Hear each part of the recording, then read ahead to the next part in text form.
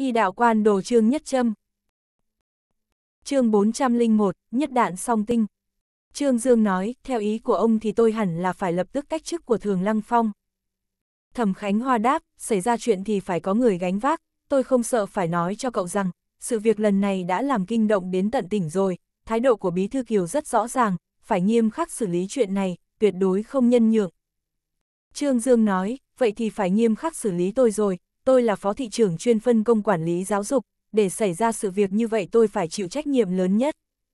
Thẩm Khánh Hoa lạnh lùng nói, cậu cũng ý thức được tính nghiêm trọng của vấn đề. Trương Dương nói tiếp, bí thư thẩm, ông nói một câu rất đúng, nhất trung phong trạch là trọng điểm của tỉnh, là niềm tự hào và là hình tượng tiêu biểu của phong trạch chúng tôi. Vụ gian lận thi đại học lần này đã hủy hoại của hình tượng giáo dục của chúng tôi, cũng bôi nhỏ cả hình tượng giáo dục tổng thể của phong trạch.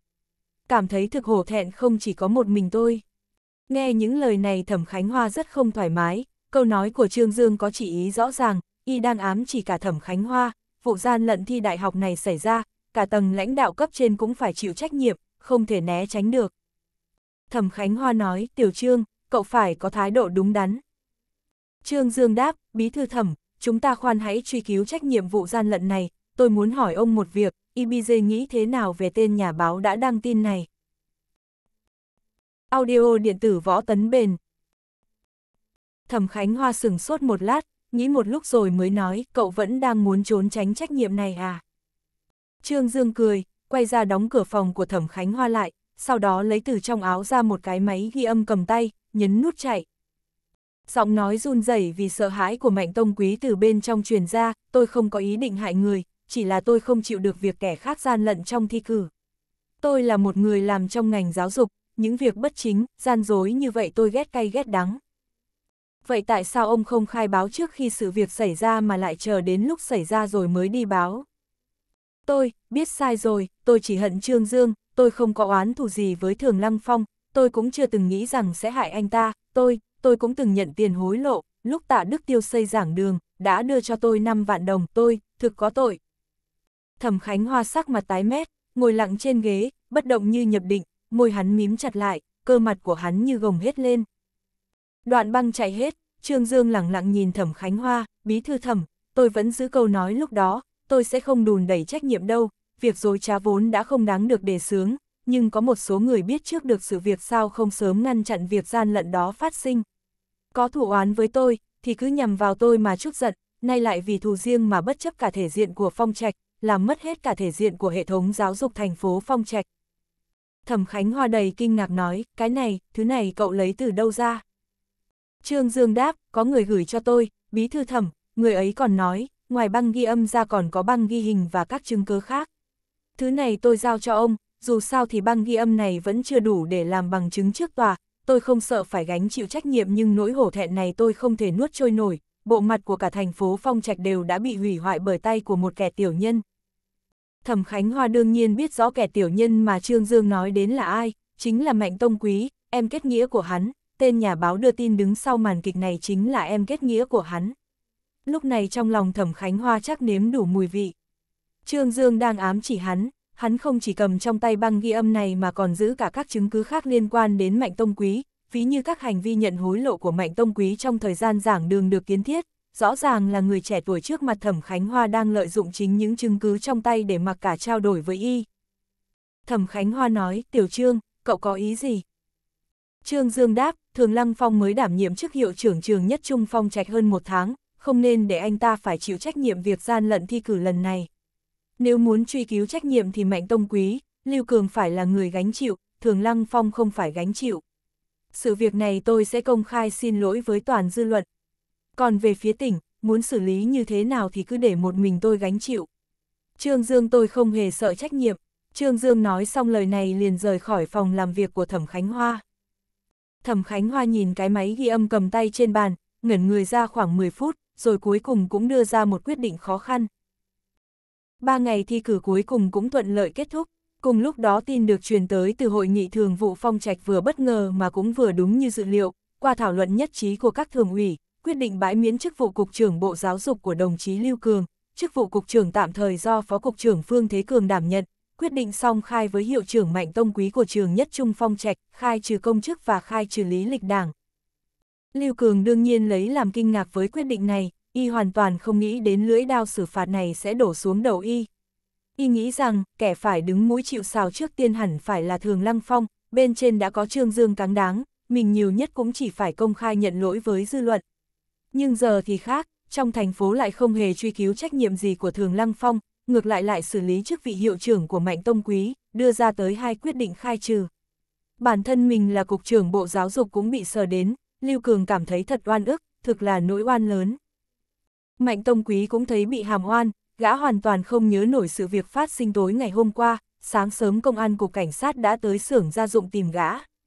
Gã đã ở đây cả một đêm, bị mũi đốt đầy mình, giờ đâu đâu cũng là vết mụn sưng đỏ, bất kể gã cố gắng suy nghĩ thế nào cũng không hiểu được rốt cuộc chuyện gì đã xảy ra tối ngày hôm qua, vừa mới bị giữ ở đồn cảnh sát cả buổi sáng, về tới nhà sau khi đến bệnh viện kiểm tra sức khỏe đã nghe thấy tin mình bị song khai. Mạnh Tông Quý thực sự nghĩ không thông, việc gian lận thị cử thì có liên quan gì tới mình chứ? Bây giờ gã không còn là hiệu trưởng trường nhất trung phong trạch nữa, cho dù truy cứu trách nhiệm thì cũng phải truy cứu tội của thường lăng phong hiệu trưởng đương nhiệm chứ, có liên quan gì đến mình cơ chứ? Những lúc Mạnh Tông Quý đau đầu nhức óc nghĩ không ra đều đến tìm mẹ nuôi để tâm sự hai ba câu. Đến nhà bà Lưu, thấy Thẩm Khánh Hoa cũng ở đó, Mạnh Tông Quý lập tức làm ra vẻ mặt đáng thương gọi một tiếng mẹ, lại kêu một tiếng anh. Ánh mắt của Thẩm Khánh Hoa hôm nay cực kỳ u ám, nhìn Mạnh Tông Quý một cách lạnh lùng, cái nhìn ấy làm cho Mạnh Tông Quý cũng sợ đến nỗi trở nên rụt rè. Bà Lưu nói, hai anh em đã đến rồi, tối nay ở lại đây ăn cơm, mẹ sẽ đi nấu cơm. Mạnh Tông Quý vội vàng nói, mẹ, để con. Thẩm Khánh Hoa nói, để mẹ nấu, anh có lời cần nói riêng với chú.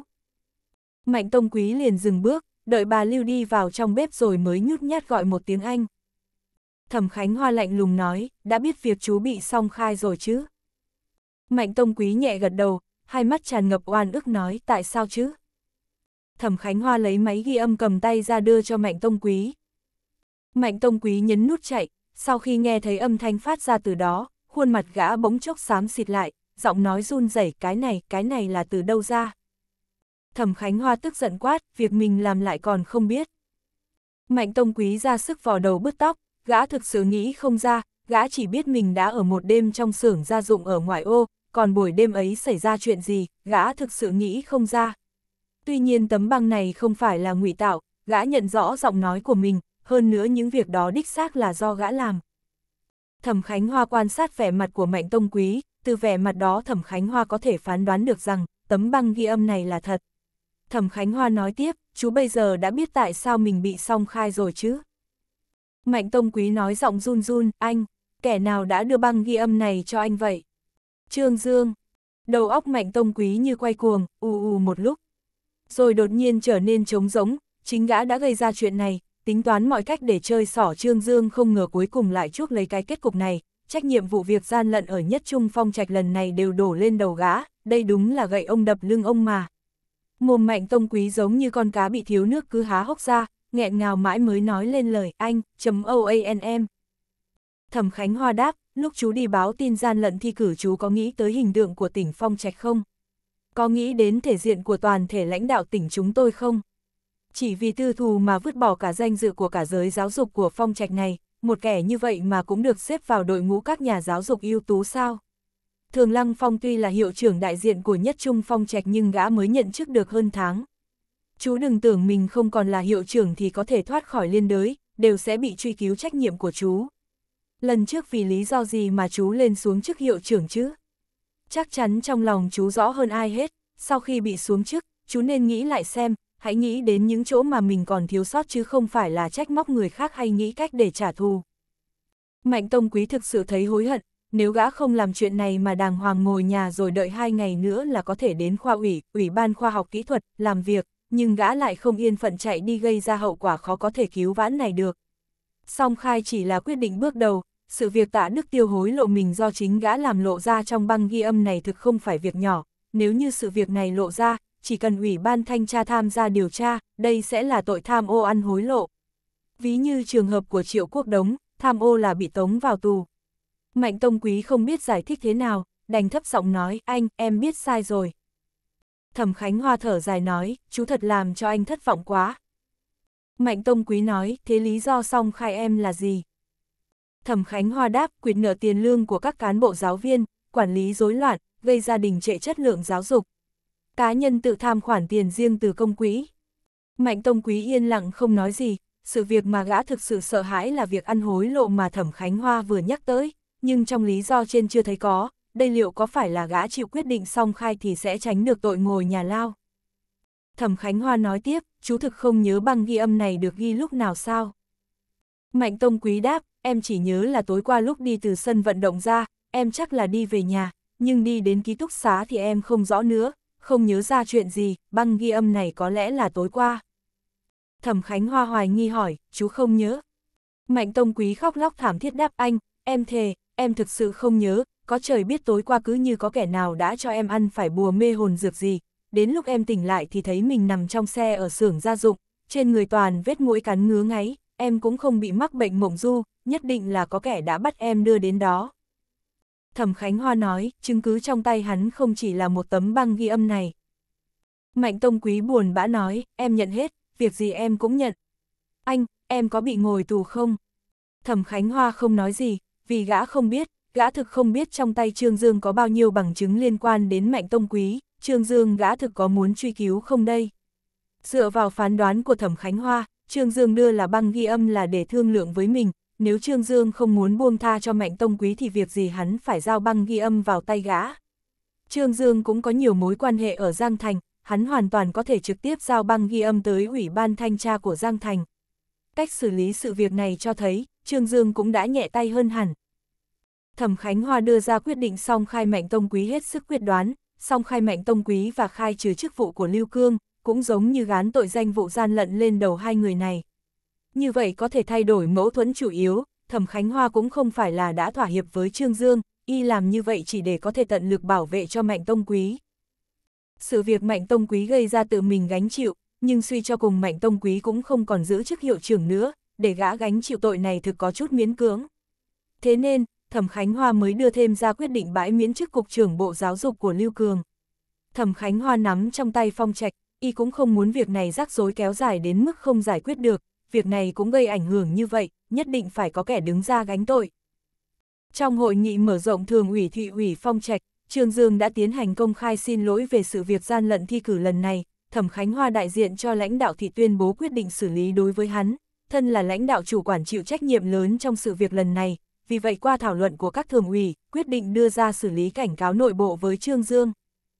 Đây không phải lần đầu lãnh đạo Trương bị cảnh cáo nội bộ, đánh An Đạt Văn là một lần, đây cũng tính là một lần, nhưng có điều lại là việc công. Lưu Cường bị cách chức, Mạnh Tông Quý bị song khai, những người thông minh đều có thể nhìn ra một điều, tuy Trương Dương chịu cảnh cáo nội bộ nhưng thực tế là bí thư thẩm Khánh Hoa đang nhượng bộ, thỏa hiệp. Cũng không có người biết rõ được cụ thể nội tình, thẩm Khánh Hoa rõ ràng cũng không cam tâm để Trương Dương áp chế, y cũng đã thu hồi lại quyền chỉ đạo công việc chiêu thương vừa mới giao cho Trương Dương, lại giao lại cho Phó Thị trưởng Lâu Quang Lượng quản lý. Vậy nên lãnh đạo Trương chưa chỉ đạo ban chiêu thương không lâu, thì quyền lực đã bị Thẩm Khánh Hoa tước lại. Trương Dương biết rõ bí thư thẩm đang lợi dụng cách này để đòi lại chút thăng bằng tâm lý, hắn hiển nhiên sẽ không chấp nhặt với Thẩm Khánh Hoa, trong cả tiến trình hội nghị hắn đều tỏ ra rất khiêm nhường bình tĩnh. Trong hội nghị, biểu hiện đắc ý nhất hẳn là Phó Thị trưởng Lâu Quang Lượng, y thỉnh thoảng lại Dương Dương tự đắc, nhìn Trương Dương với ánh mắt hả hê. Trương Đại Quan Nhân thầm nghĩ bụng, ta nhớ mặt mày rồi, đợi đến lúc ta rảnh tay sẽ tính sổ với mi. Khi hội nghị kết thúc, lãnh đạo Trương đi ra có một mình, tất cả mọi người đều nhìn ra một trận chiến tranh không hề có khói lửa đang xảy ra giữa Bí Thư Thẩm và Trương Dương. Hai bên đều chịu tổn thất nhưng có vẻ Bí Thư Thẩm bị chịu thiệt hơn một chút, hai người Lưu Cường và Mạnh Tông Quý đều là tâm phúc của Thẩm Khánh Hoa, Thường Phong Lăng lại là họ hàng của Trương Dương. Trong trận chiến này, Thường Lăng Phong là hiệu trưởng nhất Trung Phong trạch lại không bị tổn hại đến một sợi tóc nào, còn Lưu Cường và Mạnh Tông Quý lại bị thanh trừ triệt để hoàn toàn ra khỏi hệ thống giáo dục, tác bại đã bày rõ ngay trước mắt. Trương Dương mặc dù bị đoạt mất chút quyền lợi nhưng trên thực tế, công tác phân quản mà hắn vốn nắm giữ là y tế văn hóa giáo dục, hắn thực không bị tổn thất mấy, việc cảnh cáo nội bộ trong đảng cũng chỉ hời hợt vô thưởng vô phạt, chuyện này cũng chẳng to tát gì đối với tâm trạng hắn bây giờ. Trương Dương một mình đơn độc, nhưng ngẩng cao đầu sải bước mà trở về phòng làm việc của mình, hắn cũng có nguyên tắc của mình, dù áp lực có lớn đến đâu hắn cũng bảo vệ cho bằng được Thường Lăng Phong.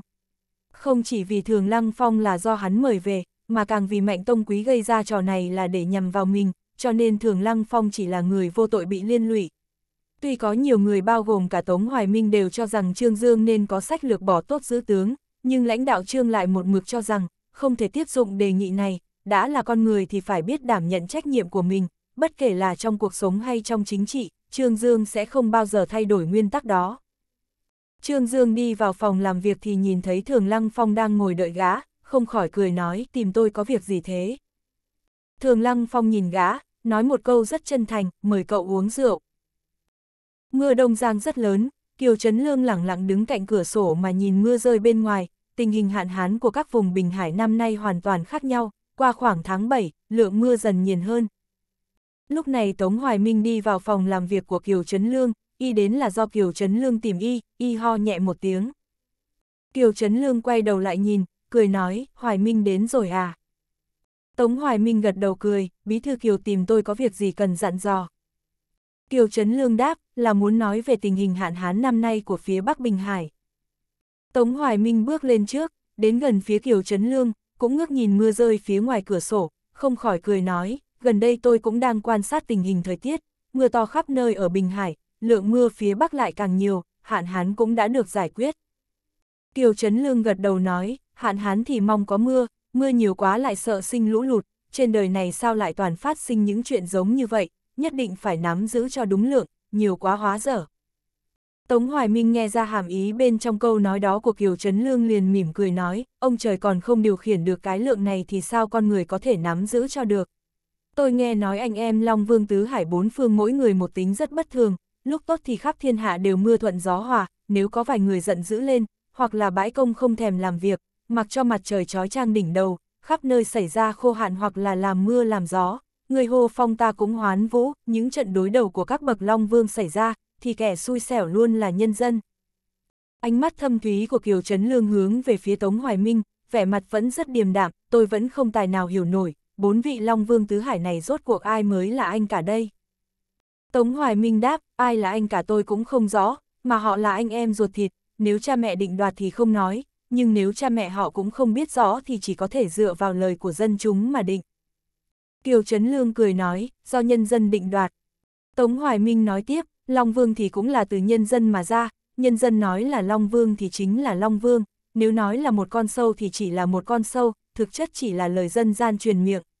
Nói thực, nhân dân muốn ai lớn nhất thì người đó chính là anh cả. Kiều Trấn Lương nói, vậy nhân dân cho rằng ai là lớn nhất trong bốn vị Long Vương này? Tống Hoài Minh đáp, đàng hoàng chính trực tạo mưa gây gió lớn, ai đối tốt với nhân dân thì người đó lớn nhất. Kiều Trấn Lương lớn tiếng cười ha ha, y đưa tay vỗ vai Tống Hoài Minh, Hoài Minh à Hoài Minh, cậu cũng thực có tài đấy. Sự việc nào cũng bắt đầu phát triển từ cao trào rồi dần lắng xuống, đây cũng là quy luật phát triển chung, việc gian lận thi cử ở phong trạch cũng lắng xuống dần sau khi thi cử kết thúc, giới truyền thông của Bình Hải lúc đầu đưa tin nóng ẩm ý rồi dần đột nhiên lặng tiếng hẳn, tin tức truyền thông vốn chỉ có tính tạm thời nhất định. Qua lần gian lận này, ác nơi khác cũng nghiêm túc kiểm tra và xử lý tiêu cực thi cử, coi phong trạch làm điển hình. Còn ở phong trạch, sự việc xảy ra làm cho Cục trưởng Bộ Giáo dục bị miễn chức, hiệu trưởng tiền nhiệm của Nhất Trung bị xử lý song khai, Trương Dương Phó Thị trưởng phân quản giáo dục cũng bị đảng cảnh cáo nội bộ, có thể nói phạm vi ảnh hưởng của quyết định xử lý nghiêm ngặt này tới toàn tỉnh Bình Hải là rất lớn. Kiều Trấn Lương và Tống Hoài Minh qua lần đối địch sơ bộ này cũng chưa hề gây thêm mâu thuẫn tranh đấu gì, những tay chính trị lão luyện như họ đây biết rõ ràng lúc này cầm dừng lại, đương nhiên cũng biết lần này chỉ là bước đầu dò xét thực lực của đối phương, ắt về sau sẽ khó mà tránh khỏi mâu thuẫn. Uy thế của hai người cũng rất mạnh, là những người cộng tác làm việc chính trị thì va chạm tranh đấu là rất nhiều. Trong mắt của người khác, Tống Hoài Minh đang rơi vào thế hạ phong, hơn nữa con rể tương lai của y là Trương Dương cũng bị liên đới trong sự việc lần này. Đối với nhiều người mà nói, chính trị là một bộ phận quan trọng trong cuộc sống, những bước thăng trầm khúc khủyểu lên xuống trong đó còn nhiều hơn cả trong một đời người. Trải qua chuyện gian lận lần này chẳng có ai quan tâm đến thành tích thi cử mà Phong Trạch đạt được nữa, cũng chẳng ai ngờ rằng thành tích lần này của Phong Trạch lại tốt nhất từ trước đến giờ. Lúc điểm thi đại học được tuyên bố, một tin đáng mừng cho ngành giáo dục của Phong Trạch cũng đến cùng, thủ khoa năm này của các khối khoa học tự nhiên và khoa học xã hội đều đến từ trường nhất trung Phong Trạch, thủ khoa khối khoa học tự nhiên em Phùng Lộ đạt tổng điểm 689, thủ khoa khối khoa học xã hội em Lý Đương Dương đứng thứ hai đạt tổng điểm tròn 20. Sau khi biết được thành tích này, Thường Lăng Phong ngay lập tức thông báo cho Trương Dương, gã vui vẻ phấn chấn đến phát run mà nói lại cho Trương Dương biết sự việc.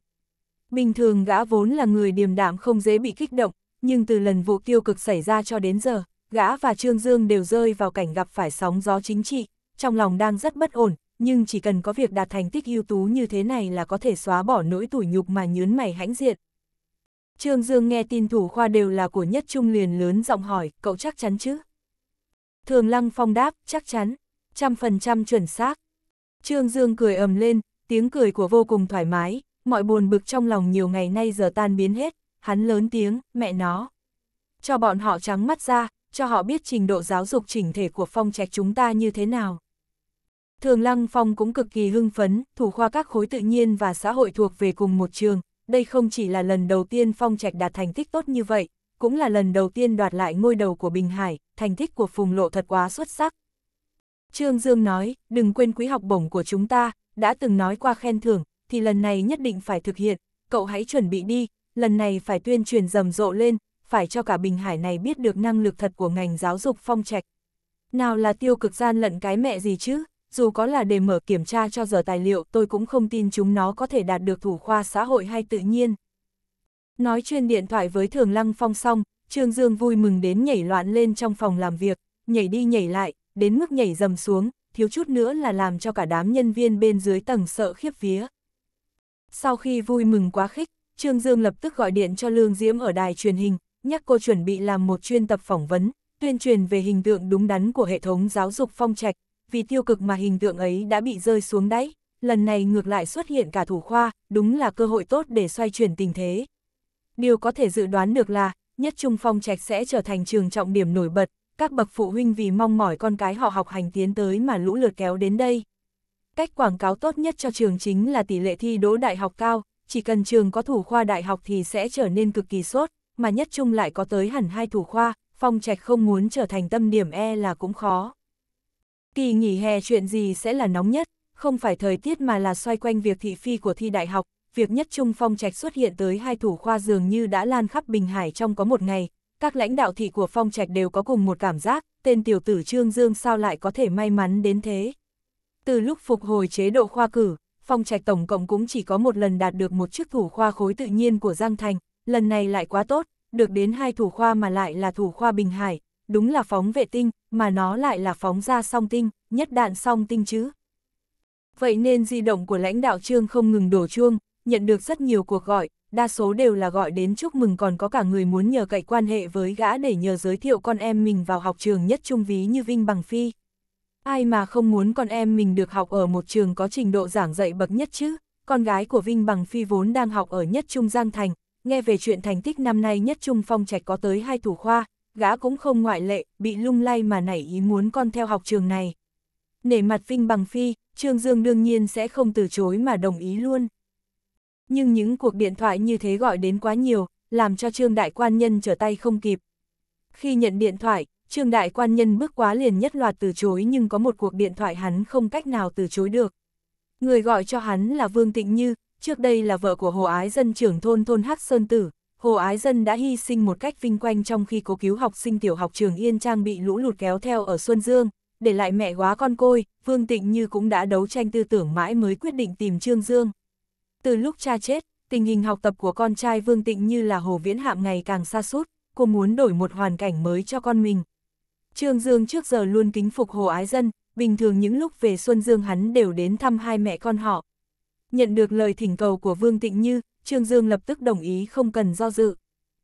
An ngữ thần cũng gọi điện đến chúc mừng, gần đây cô thường xuyên đi đi lại lại Hong Kong và Giang Thành, việc tăng giá cổ phiếu đột ngột của khu thương nghiệp chùa Nam Lâm là việc bất ngờ mà kỳ tài thương nghiệp An Đạt Văn không dự tính đến, nhưng gã đã chia tay rõ ràng với An ngữ thần, vậy nên gã không được hưởng lợi ích gì từ phía cô nữa.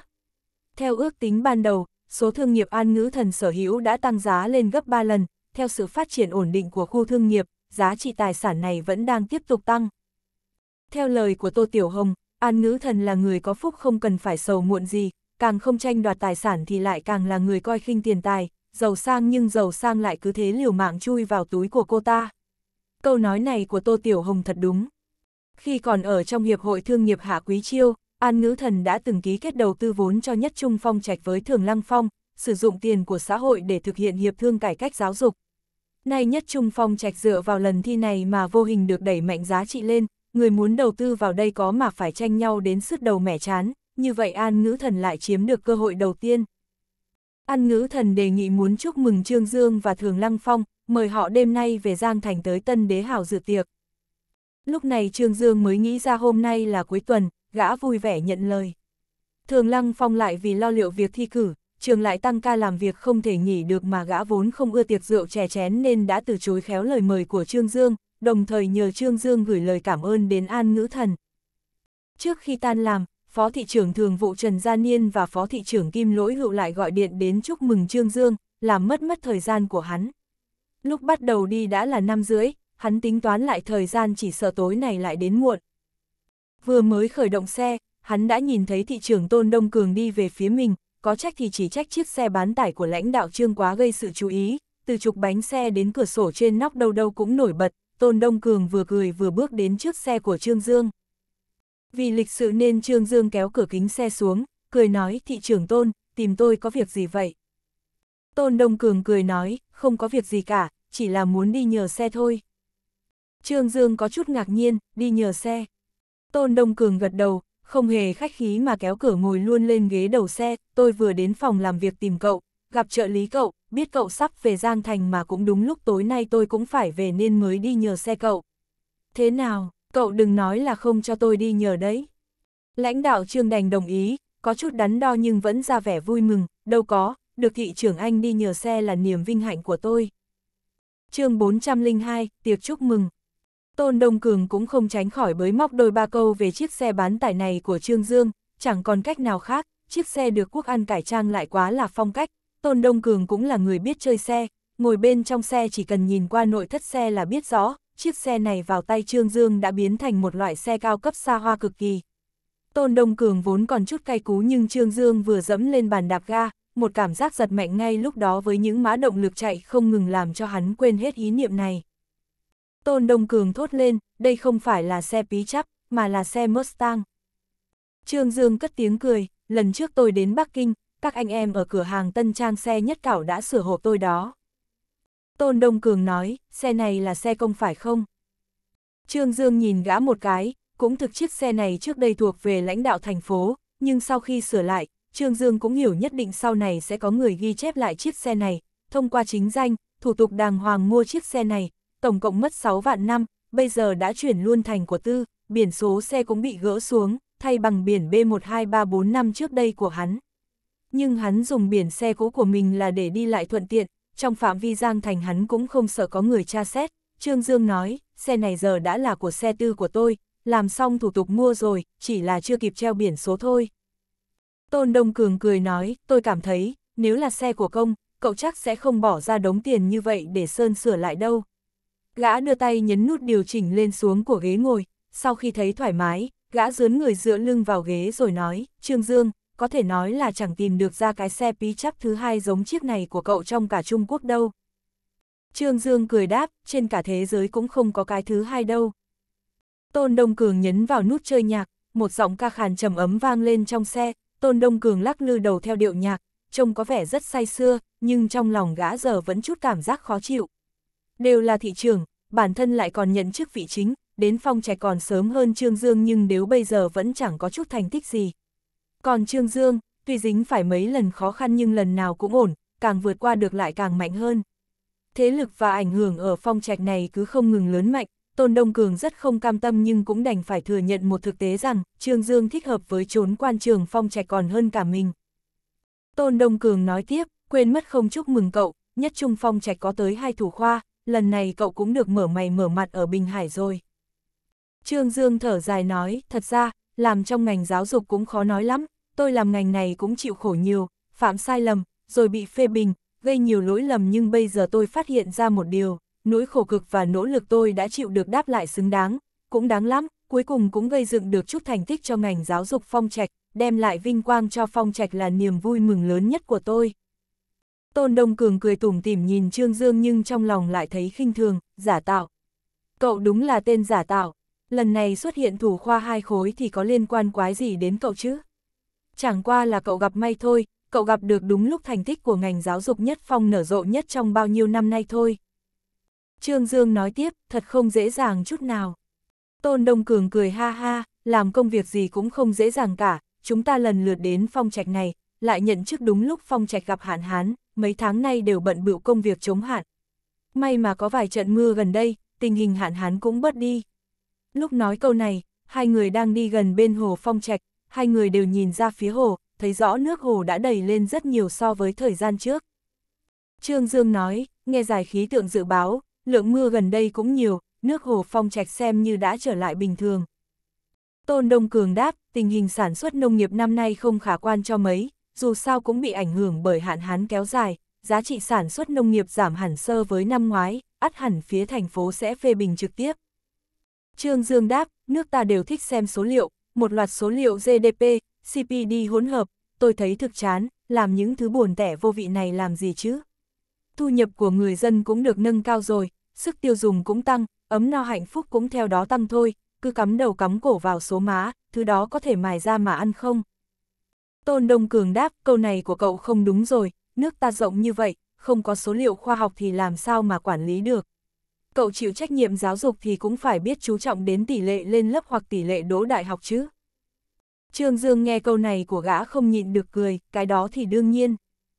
Đoạn đường còn lại hai người cũng chuyện trò vui vẻ, đến Giang Thành, Tôn Đông Cường bảo Trương Dương cho gã xuống trước cửa khu tập thể thị ủy. Sau khi cười tạm biệt, Trương Dương lái xe rời đi, lúc này lãnh đạo thị tức chủ nhiệm Triệu Dương Lâm ngồi xe hong chi quay về. Nhìn thấy con rể đã về, Triệu Dương Lâm hạ cửa xe vẫn tay với Tôn Đông Cường. Tôn Đông Cường cũng đi tới gần xe chào cha. Triệu Dương Lâm mở cửa xe đi xuống và bảo tài xế lái đi, tình cảm của hai cha con rất tốt, Tô Đông Cường cũng chủ định đem về cho cha vợ một món đặc sản của phong trạch. Triệu Dương Lâm hỏi, ai đưa con về vậy? Trương Dương ạ. À? Triệu Dương Lâm ồ một tiếng, hai người cùng bước sóng vai mà đi, Triệu Dương Lâm nói, nghe nói thủ khoa hai khối xã hội và tự nhiên năm nay đều đến từ nhất trung phong trạch. Tôn Đông Cường nói, tin tức lan nhanh thật, đến cha cũng biết rồi ạ. À? Triệu Dương Lâm cười ha ha, ai mà không biết chứ, việc này lại là tin nóng lớn nhất năm này của Giang Thành, đứa cháu ngoại của ta cũng nói tương lai nó muốn học ở nhất trung phong trạch, đến đứa trẻ đi học mẫu giáo còn biết. Tôn Đông Cường than thở, đúng là tin chấn động mà, thủ khoa hai khối tự nhiên và xã hội đều của cùng một trường, đây là trường hợp đầu tiên của Bình Hải. Triệu Dương Lâm nói, số của Trương Dương cũng tốt thật. Tôn Đông Cường im lặng không nói gì, không những là tốt, mà là cực kỳ tốt, gã đang cảm thấy ông trời thực không công bằng, sao lại có thể dễ dàng để cho Trương Dương chiếm phần hơn vậy. Trương Dương đến Tân Đế Hảo muộn hơn giờ hẹn tới hơn nửa tiếng, An Ngữ Thần, Kiều Mộng Viên, Hồ Nhân Như, Thời Duy và Tô Tiểu Hồng đều đang đợi hắn. Lúc Trương Dương bước vào, hắn giật cả mình mà lạnh lùng hỏi một câu, hôm nay sao thế này? Một loạt các nữ tướng, sao tôi lại có diễm phúc lớn như thế vậy? Thời Duy liếc mắt nhìn hắn, đừng quá tự phụ như thế. Tô Tiểu Hồng cười nói, người khác làm gì có được đãi ngộ như thế này, thị trưởng Trương mau ngồi xuống đi, hôm nay là tiệc chúc mừng dành cho anh đó. Trương Dương cũng không đến tay không, hắn tặng cho mỗi người hai lọ nước ép hoa hồng nổi tiếng sản xuất tại nhà máy chế phẩm hóa học phong trạch, là dùng để làm đẹp cả, lúc ấy không cần biết công dụng như thế nào, tất cả đều mở ra uống thử cho vui.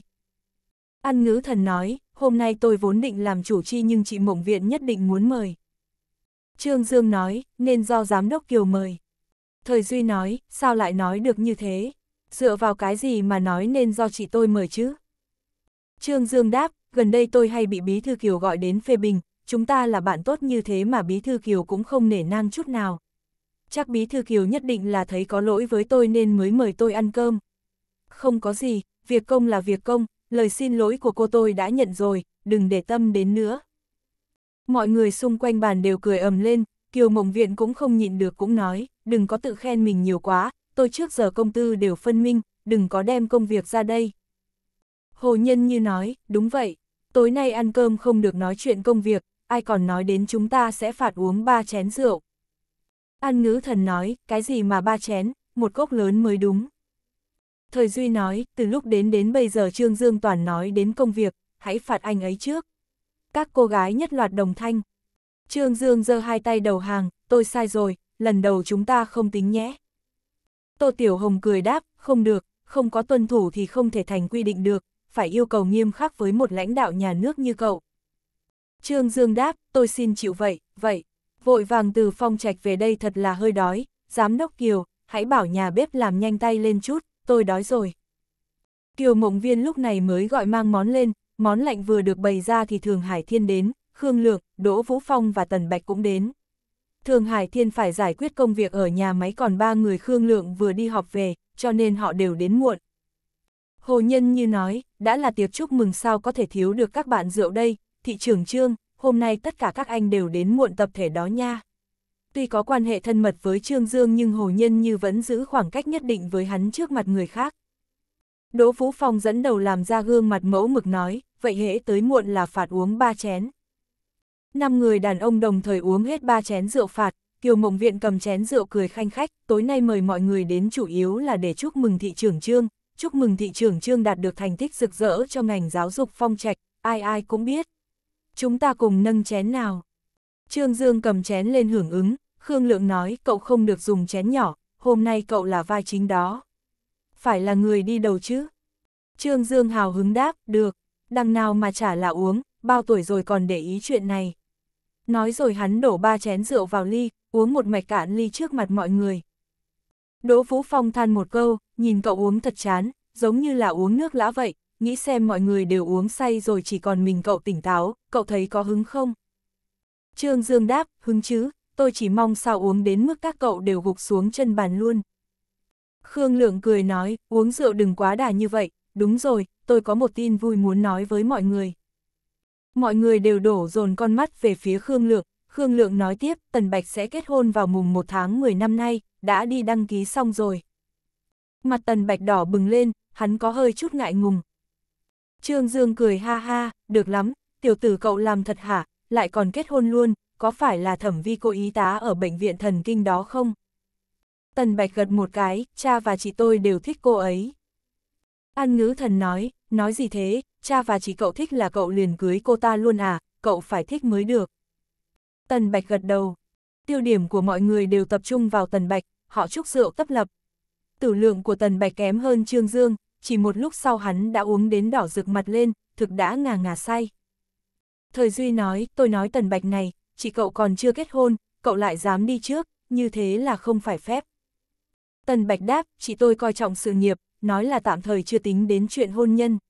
Lúc nói câu này, hắn nhìn về phía Trương Dương. Trương Dương vội vàng cầm chén trà lên uống, việc này có liên quan đến hắn, trái tim và thể xác của người đẹp đã sớm thuộc về hắn, trên thế giới này ngoài hắn ra e là chẳng có ai lọt được vào mắt của Tần Thanh nữa. Thời Duy nói, điều kiện của chị cậu tốt như thế, theo lý mà nói thì phải có nhiều người theo đuổi chứ. Tần Bạch đáp, yêu cầu của chị tôi rất cao. Nhiều người có mặt lúc này đều biết rõ tình cảm thân thiết giữa Tần Thanh và Trương Dương, lúc này đền im lặng không nói gì, Tô Tiểu Hồng đang lo lắng nhà đầu ngốc thời duy này lại nói ra những câu không nên nói liền vội vàng lên tiếng, ai quy định nữ giới không có đàn ông thì không thể sống được chứ. Tần Thanh sống rất tốt, tôi cũng sống tốt, những người phụ nữ chúng tôi ở đây đều chưa có bạn trai, nhưng chúng tôi vẫn sống tự do thoải mái đây. Trương Dương cười đùa nói, sai rồi, tôi chính là bạn trai của các cô đấy. An ngữ thần nói, đừng tự cao như vậy, chúng tôi toàn các mỹ nữ như thế này lại chỉ có một người như cậu, cậu cũng được lợi quá nhỉ.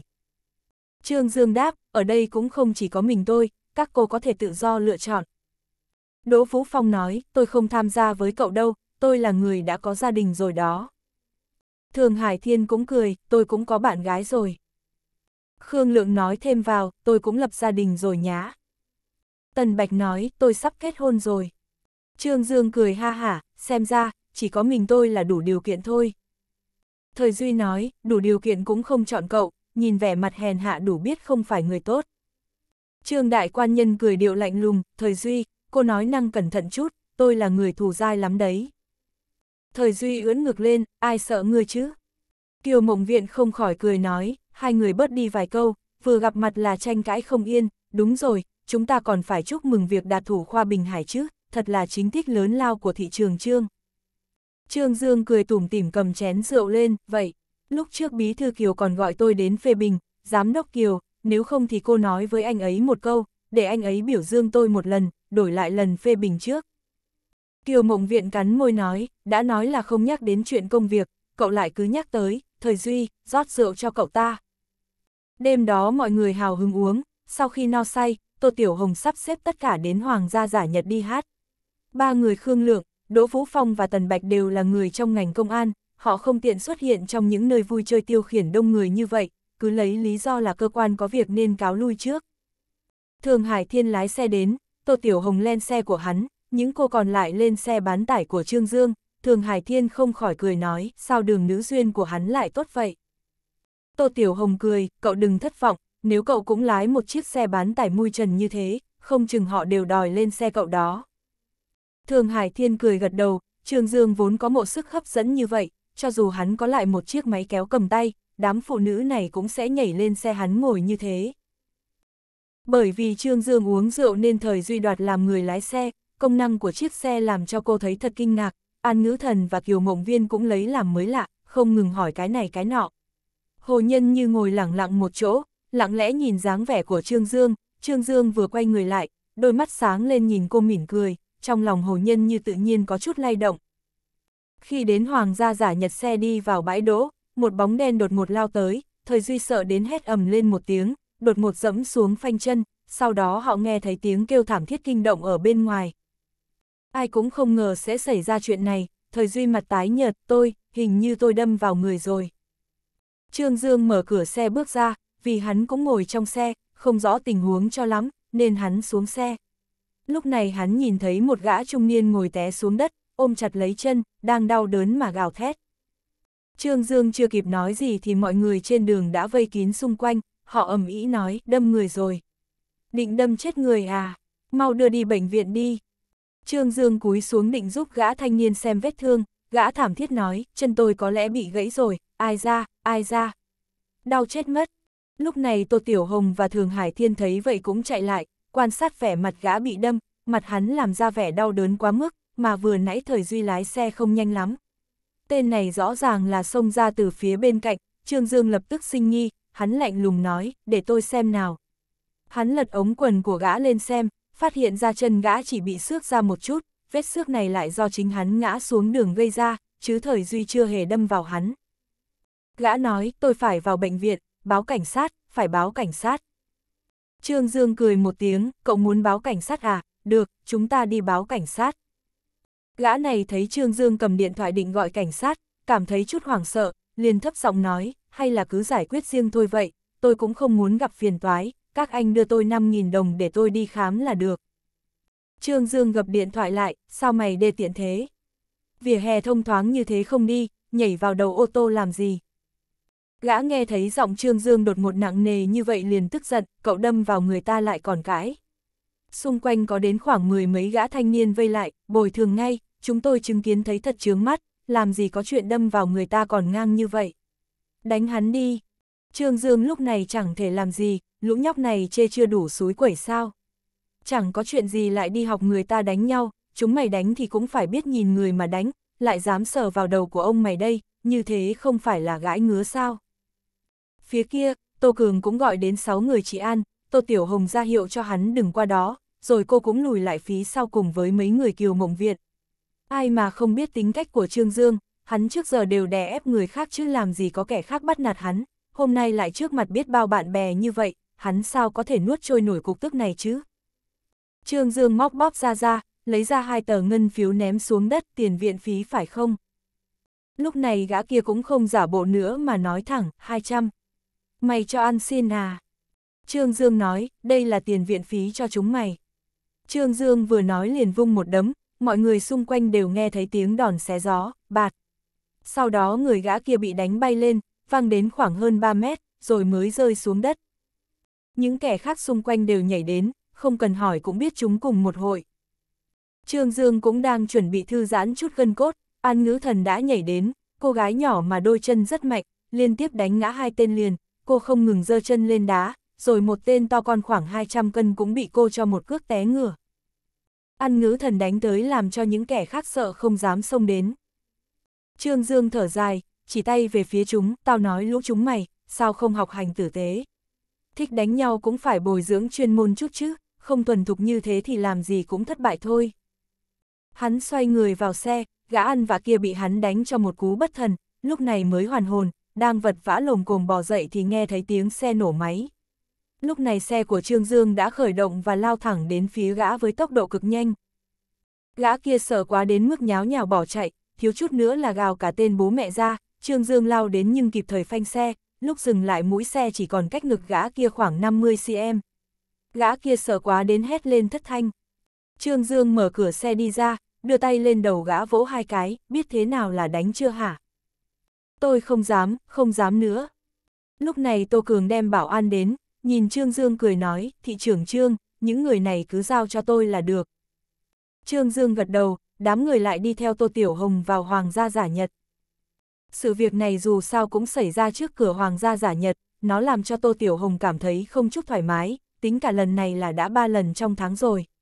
Cô ý thức được sau nhóm người này ắt hẳn có kẻ giật dây, nhưng cô không tiện nói ra trước mặt Trương Dương, Kiều Mộng Viện và nhiều người như vậy. Sau khi sắp xếp ổn thỏa cho đám người Trương Dương, Tô Tiểu Hồng đi đến phòng làm việc, Tô Cường đã tới đó, hắn vừa đưa mấy tên bắt được đến khu trực thuộc sở cảnh sát. Tô Tiểu Hồng nói, Tiểu Cường, em hãy điều tra kỹ càng lai lịch của đám người đó, tháng này cũng đã xảy ra ba lần liên tiếp như vậy trước cửa hoàng gia giả nhật rồi, sau lưng đám người đó ắt hẳn có kẻ sai khiến. Tô Cường đáp, hay là nói với Khương Lượng một tiếng, nhờ hắn giúp.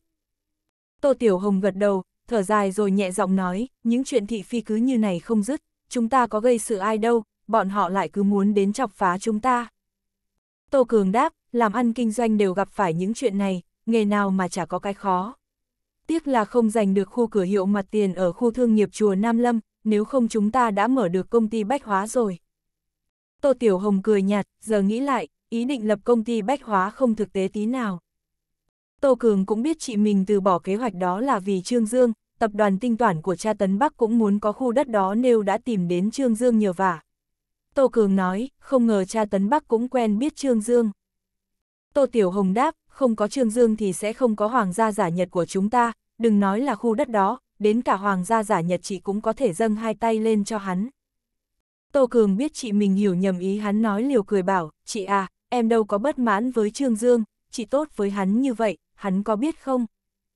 Tô Tiểu Hồng chừng mắt nhìn hắn, giữa chị và Trương Dương chẳng có gì hết, vị trí của hắn và em trong lòng chị đều giống nhau, đều là anh em tốt. Lúc nói câu này, vẻ mặt Tô Tiểu Hồng lộ chút anh Tuấn ngay thẳng. Kỳ thực người mà cô đem lòng mến mộ chính là bí thư thị ủy Đỗ Thiên Giã nhưng tấm chân tình này chỉ có thể chôn giấu sâu trong lòng, không thể để người khác biết được. Tai nạn kia cũng không ảnh hưởng gì tới tâm trạng của Trương Đại Quan Nhân, hắn và An Ngữ Thần, hồ nhân như chơi trò xúc sắc uống rượu, trò này do chính An Ngữ Thần dạy cho bọn hắn. Kiều Mộng Viện yên lặng ngồi một bên, lặng lẽ nghe tiếng hát của Thời Duy, con mắt như có chút thất thần.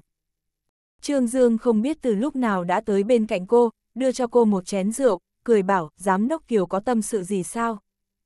Kiều Mộng Viên đáp, chỉ đang nghĩ đến công việc, có lẽ tôi sinh ra đã chịu số vất vả. Trương Dương nói, khu chùa Nam Lâm đã trở thành điểm nóng thương nghiệp của Giang Thành, cô và Tiểu Yêu cũng phát tài rồi. Kiều Mộng Viện cười, ngữ thần mới là phát tài, lần này đầu tư vào giáo dục phong trạch, lại đi đúng một nước cờ. Trương Dương đáp, hai người hợp tác thật là ăn ý, Tiểu Yêu lại quan thẳng tính, trên trốn thương trường lận đận mãi may mà gặp được cô đó. Kiều Mộng Viện liếc mắt nhìn hắn, tôi là một gian thương sao. Trương Dương cười ha ha, đưa chén rượu trong tay chạm ly với Kiều Mộng Viện. Kiều Mộng Viện nhấp một chút rượu rồi nói, cha tôi gọi cậu lên phê bình không phải là do có thành kiến với cậu, có một số chuyện công tư bắt buộc phải phân ra. Trương Dương cười, tôi cũng phân được rõ ràng, chuyện đã qua thì đừng nhắc đến nữa, đúng rồi, có tin tức gì của hứa Gia Dũng không? Kiều Mộng Viễn lắc đầu, trong lòng cũng không còn cảm thấy cảm giác đau đớn trước đây nữa, cô cũng thấy hơi kỳ quái, sao giờ bản thân mình lại có thể hờ hững với cái tên gọi đó như vậy. Ba chữ hứa Gia Dũng không còn gây chút đau đớn gì cho cô nữa, lẽ nào vì hứa Gia Dũng đã rời xa cô quá lâu, tình cảm ngày xưa đó cũng tàn phai theo thời gian. Trương Dương không phải là ngẫu nhiên mà nhắc đến chuyện hứa Gia Dũng, hắn nói ra cái tên này để xem xét vẻ mặt của Kiều Mộng Viện, vẻ mặt bình thản của Kiều Mộng Viện làm cho hắn thấy được an ủi phần nào, cùng lúc ấy Trương Đại Quan Nhân cũng cảm thấy mình hơi ích kỷ. Theo tình hình trước mắt mà nói, có phải là tham muốn chiếm hữu của bản thân hắn có hơi quá không? Kiều Mộng Viện nói tiếp, kỳ thực đời người ngắn ngủi, cứ sống vui vẻ như cậu lại hay. Trương Dương đáp, thực ra tôi cũng có điều phiền muộn, chỉ là, tôi giữ nó trong lòng thôi. Kiều Mộng Viện cười nói, đừng bốc phét, cậu sống rất thoải mái dễ chịu đó. Một trận mưa lớn ập đến lúc nửa đêm, tiếng sấm đánh in tai nhức óc làm cho hồ nhân như đang say giấc phải giật mình bật dậy. Cô ngóc đầu dậy từ vòng tay của Trương Dương, nhìn thấy cửa sổ vẫn mở, rèm cửa bị gió thổi tung mà nước mưa hắt cả vào phòng. Cô nhẹ nhàng ngồi dậy chỉ sợ làm Trương Dương tỉnh giấc, ánh xét chiếu rõ từng đường nét trên thân thể cô. Lúc này cô đã lấy tấm khăn màu đỏ quấn lấy thân mình, đôi chân trần bước xuống sàn ướt mà đi tới phía cửa sổ khép hai cánh cửa lại. Một tia chớp chói mắt xé rách ngang trời, kèm theo đó là tiếng sấm rền ầm lên như nổ tung làm cho hồ nhân như sợ đến giật bắn mình. Nhưng cùng lúc đó cô nhận thấy một đôi tay ấm áp ôm chặt lấy mình, ủ cô vào lòng. Hồ nhân như ép sát vào ngực Trương Dương, Trương Dương đưa tay vuốt ve cô, đừng sợ, có anh bên cạnh em đây. Hồ nhân như ngẩng khuôn mặt thanh tú lên, hôn lên môi của Trương Dương.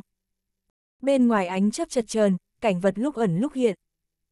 Hồ nhân như cười nói, thị trưởng phong trạch cũng không hề dễ dàng làm như thế phải không? Trương Dương đáp, trên đời này chỉ sợ nhất là hai chữ quyết tâm, chỉ cầm ta quyết tâm làm, thì việc gì cũng thành. Hồ nhân như dựa vào lòng hắn, hai người đan tay vào nhau, hồ nhân như nói tiếp, bây giờ nghĩ lại, anh không chỉ cực kỳ may mắn mà còn có cả khả năng dự đoán, quý học bổng và khen thưởng lúc đầu được ghi lại là vì chuyện hôm nay, lần này nhất trung phong trẻ có trạng nguyên hai khối liền, anh vừa hay có thể mượn cơ hội này xóa sạch lỗi trước đây. Trương Dương đáp, vận may của anh vốn rất tốt, nếu không sao có thể có được hồng nhan chi kỷ như các em. Hồ Nhân như bĩu môi nói, người không chỉ may mắn mà còn là kẻ tham lam nhất. Trương Dương cười ầm lên, ánh mắt của hắn sáng lên như ánh điện, có lòng tham mới có thể tiến bộ được, nếu nhưng lãnh đạm với mọi thứ trên thế giới này thì thà ta đi xuất ra làm hòa thượng còn hơn. Hồ Nhân như buồn bã nói, nếu anh làm hòa thượng thì không biết có bao nhiêu người phải khổ sở đau lòng đây. Trương Dương cười đáp, vậy để ta xây bên cạnh chùa một am ni cô, những người đau khổ vì ta hãy xuống tóc làm ni cô hết. Như vậy ban ngày ta có thể tụng kinh niệm Phật, ban đêm có thể cùng đi ngủ, có thể an ủi nỗi tương tư trong lòng. Hồ Nhân như nói tiếp, trên đời có kiểu làm hòa thượng như vậy không? Trương Dương cười ha ha, hòa thượng giống như ta e là sẽ bị Phật tổ giáng ngũ lôi trừng phạt. Hắn chưa nói hết câu, tiếng sấm đã ầm ầm nổ ra, làm cho hồ nhân như sợ phát khiếp, vội vàng lấy tay che miệng hắn, đừng nói hồ đồ nữa, nói năng linh tinh sẽ bị trời phạt đó. Trương Dương nắm lấy ngón tay nhỏ bé của hồ nhân như, ôm chặt lấy người cô nói, anh không sợ. chương 403, người một nhà. Trương Dương vốn định ngày thứ hai sẽ đến Xuân Dương thăm mẹ, nhưng sự xuất hiện đột ngột của cha Tấn Bắc đã làm hắn từ bỏ ý định. Cha Tấn Bắc khi cách thành phố Ly Giang khoảng 200 cây em đã gọi điện cho Trương Dương, Trương Dương vừa mới rời khỏi căn nhà gỗ ở Nam Hồ, nghe nói cha Tấn Bắc buổi trưa sẽ đến Giang Thành, liền vui mừng vô cùng.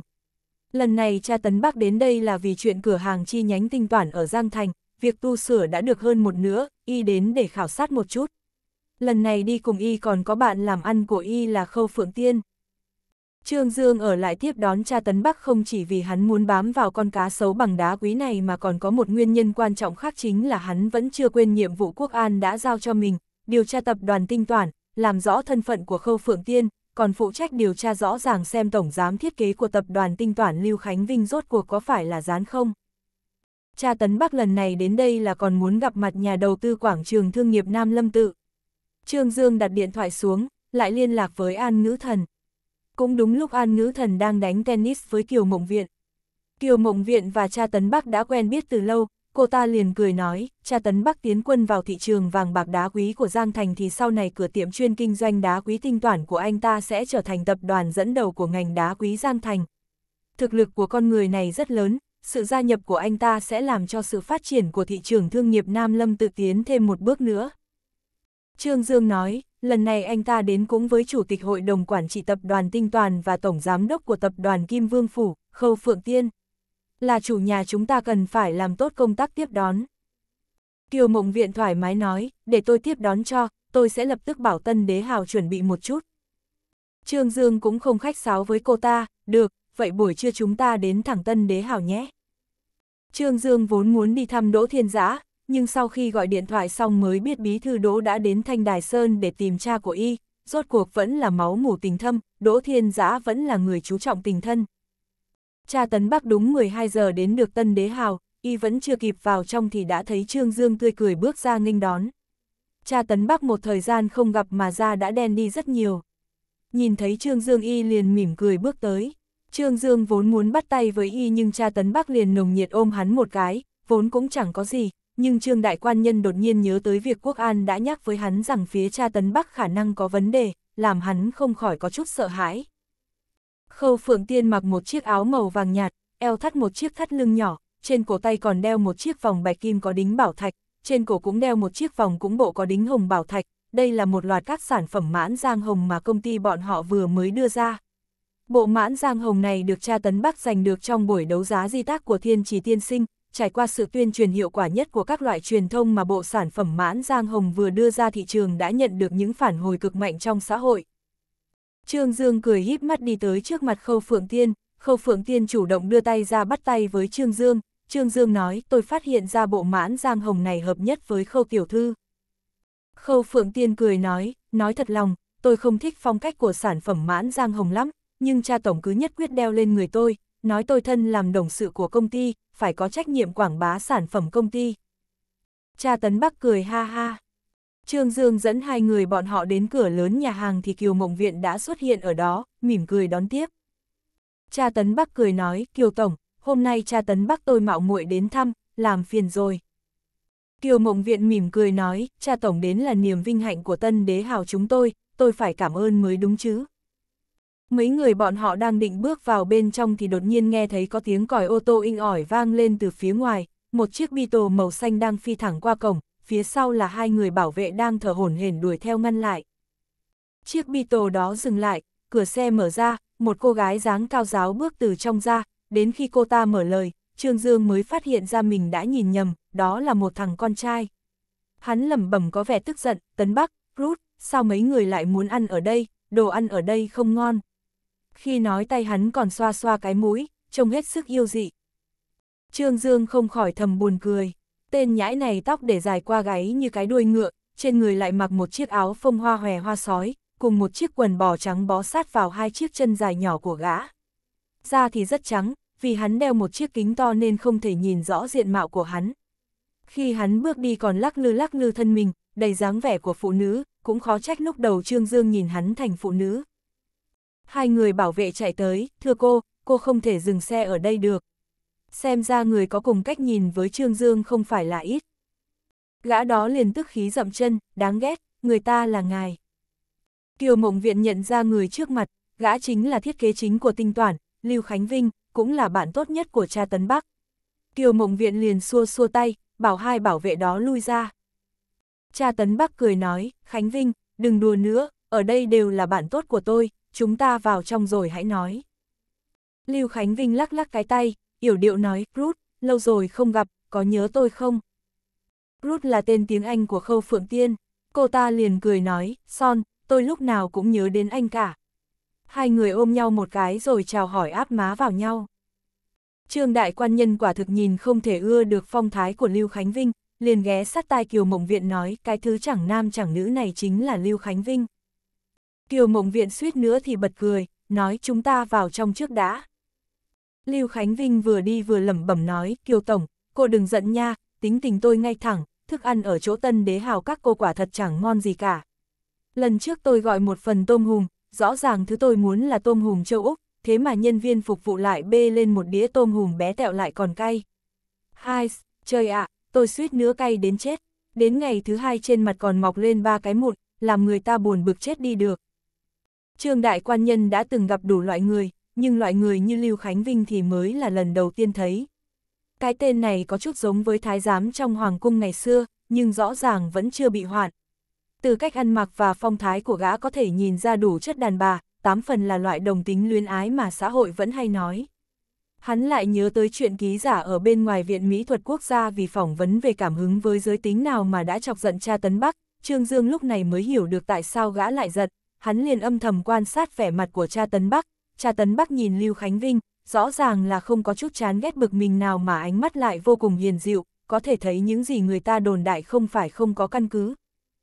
Tên Lưu Khánh Vĩnh này đúng là lắm mồm, từ lúc gã xuất hiện đến giờ, những người khác đều ít có cơ hội nói chuyện, sau khi ngồi xuống, Trương Dương lại phát hiện ra trên tai hắn còn có đeo hoa tai, lòng thầm nghĩ khẩu vị của cha tấn bắc quả thật quá nặng rồi, lại đi thích một thứ chẳng nam chẳng nữ gì như thế.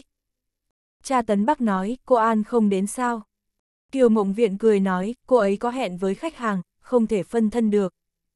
Cha Tấn Bắc nói, lần này có thể thuận lợi ký được hợp đồng ở Nam Lâm tự phần nhiều là nhờ vào sự giúp đỡ của Kiều Tổng, hôm nay tôi có mang một chút quà đến tặng cho mọi người.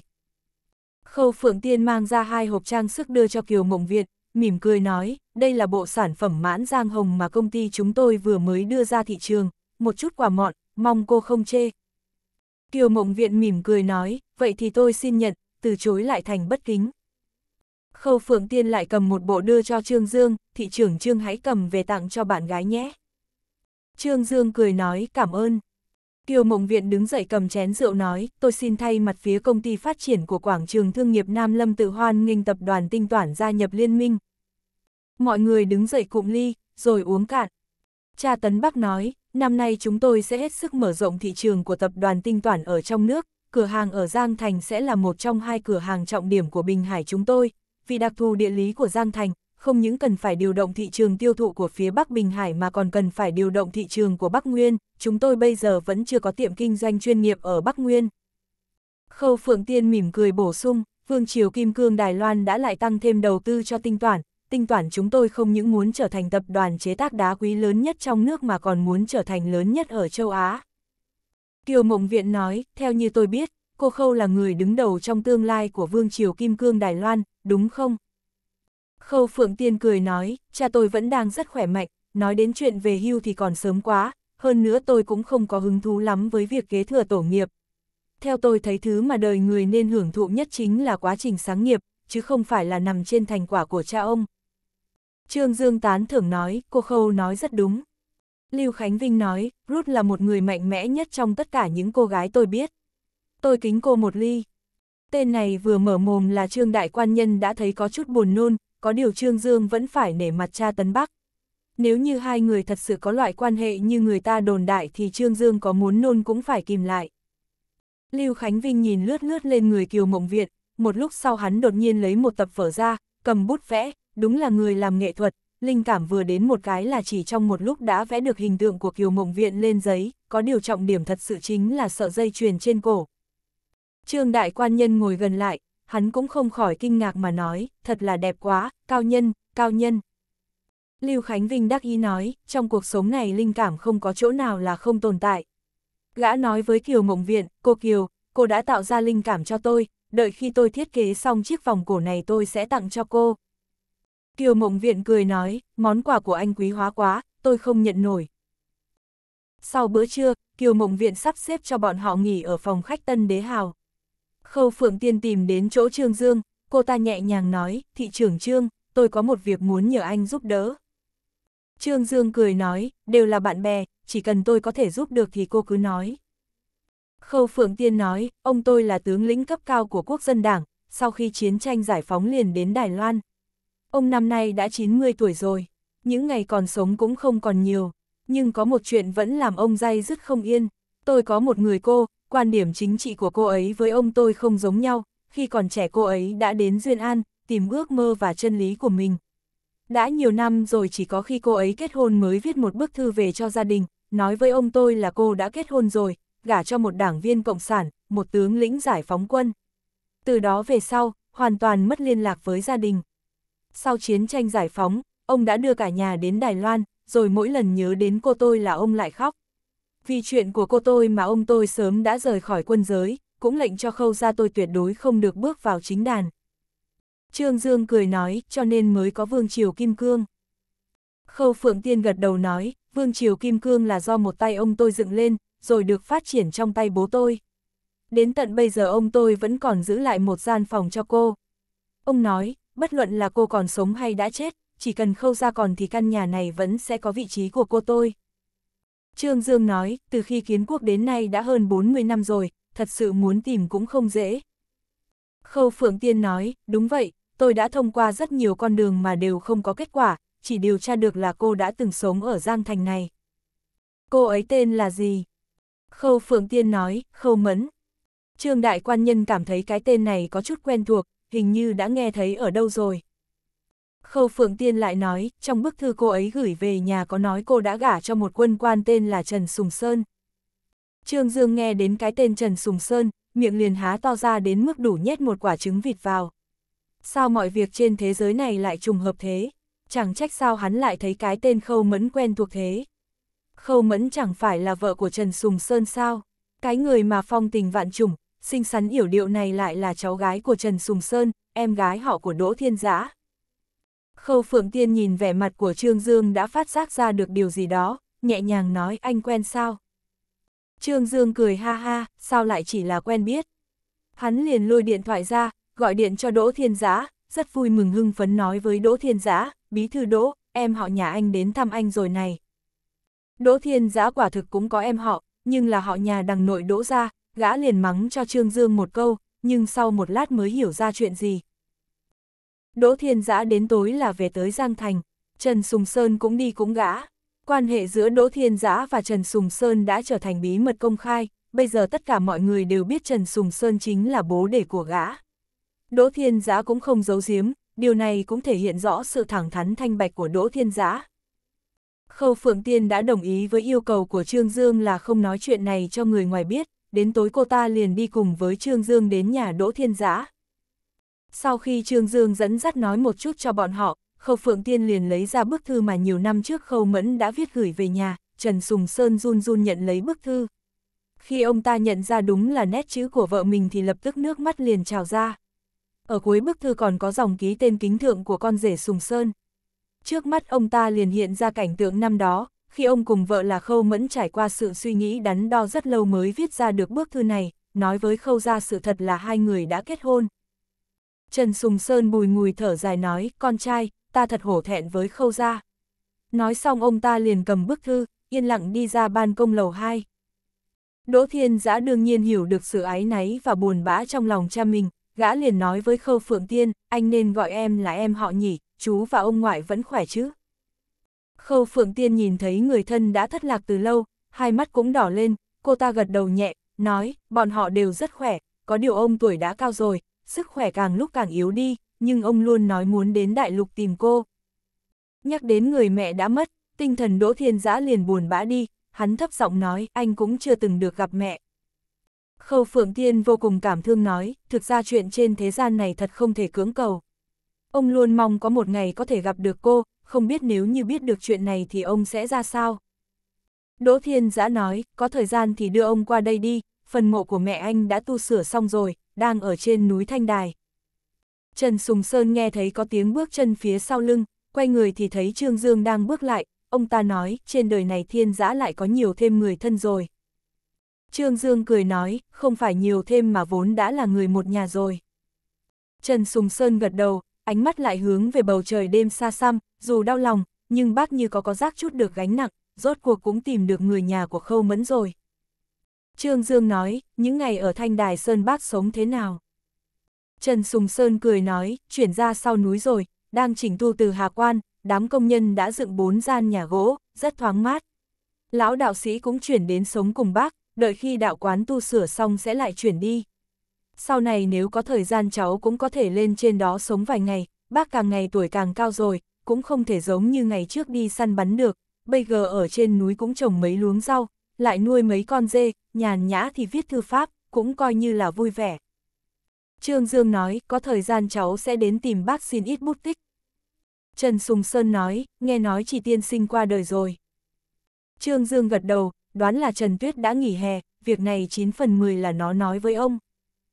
Trần Sùng Sơn thở dài nói, bác nghe Tuyết Nhi nói rồi, ông ấy đi quả là quá sớm. Trương Dương nói, sống chết có số, ai cũng sẽ có ngày này. Trần Sùng Sơn không khỏi cười nói, trẻ tuổi như vậy mà đã có cái dáng vẻ nhìn thấu hồng trần, nếu như đã nhìn thấu hồng trần rồi hà tất còn ở lại trốn quan trường. Trương Dương nói, con người cháu dung tục, việc rời xa trần thế, tiêu diêu tao nhã cháu không quen. Lúc này đột nhiên điện thoại của Trương Dương reo lên, hóa ra là Khương Lượng và Đỗ Vũ Phong.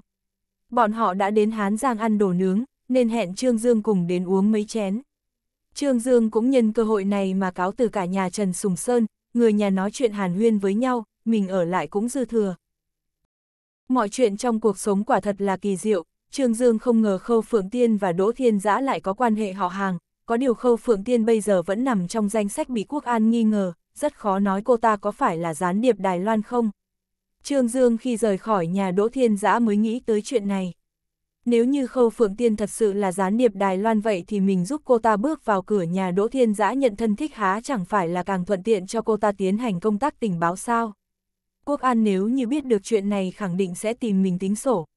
Nhưng Trương Đại Quan Nhân từ trước đến nay là người dám làm dám chịu, kệ sư nó, dù sao cũng đã làm rồi, mà cũng chẳng có ai quy định rằng làm gián điệp thì không được có họ hàng cả.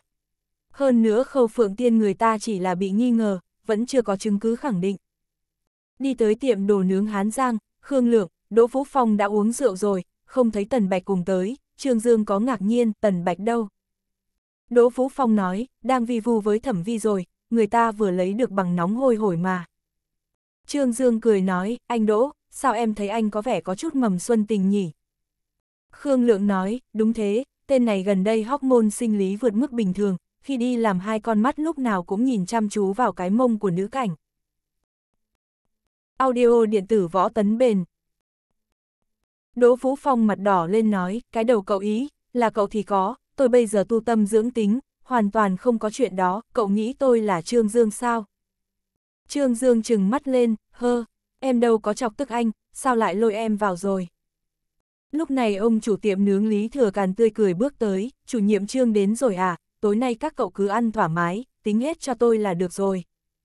Khương Lượng nói, lão Lý, anh đúng là biết tạo quan hệ nhé, lần nào anh ta đến anh cũng mời khách, sao chưa thấy lần nào anh mời chúng tôi vậy? Lý Thừa Càn cười nói, chủ nhiệm trương thỉnh thoảng mới đến một lần, hai vị thì tuần nào cũng đến mấy lần mà. Đỗ Vũ Phong cười nói, thế chẳng phải là nói chúng tôi thường xuyên đến chiếu cố đến việc làm ăn của anh là sai rồi.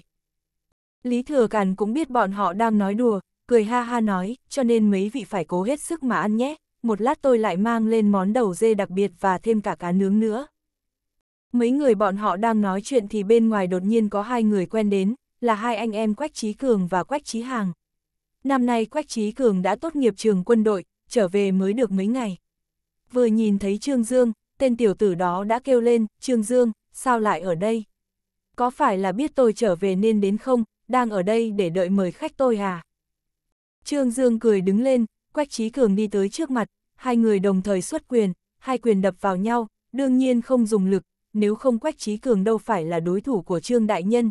Trương Dương nói, đã từng gặp người mặt dày, nhưng chưa gặp ai mặt dày hơn cậu, đến đây, ngồi xuống. Quách Trí Hàng cũng đều quen biết họ, đương nhiên sẽ không khách sáo. Lý Thừa Càn vội lấy một chiếc bàn lớn hơn cho bọn họ. Quách Trí Cường uống mấy hớp rượu, nói, đi đến đâu cũng không ăn được đồ nướng chính tông như thế này. Khương Lượng cười nói, thực ra Hán Giang đã thay đổi mùi vị rồi, hoàn toàn không phải mùi vị đồ nướng theo kiểu Hàn nữa, mà đã được điều chỉnh theo khẩu vị của người Giang thành chúng ta rồi, người Hàn Quốc sẽ không ăn như thế này đâu. Gã chia mấy xiên thịt dê cho mọi người.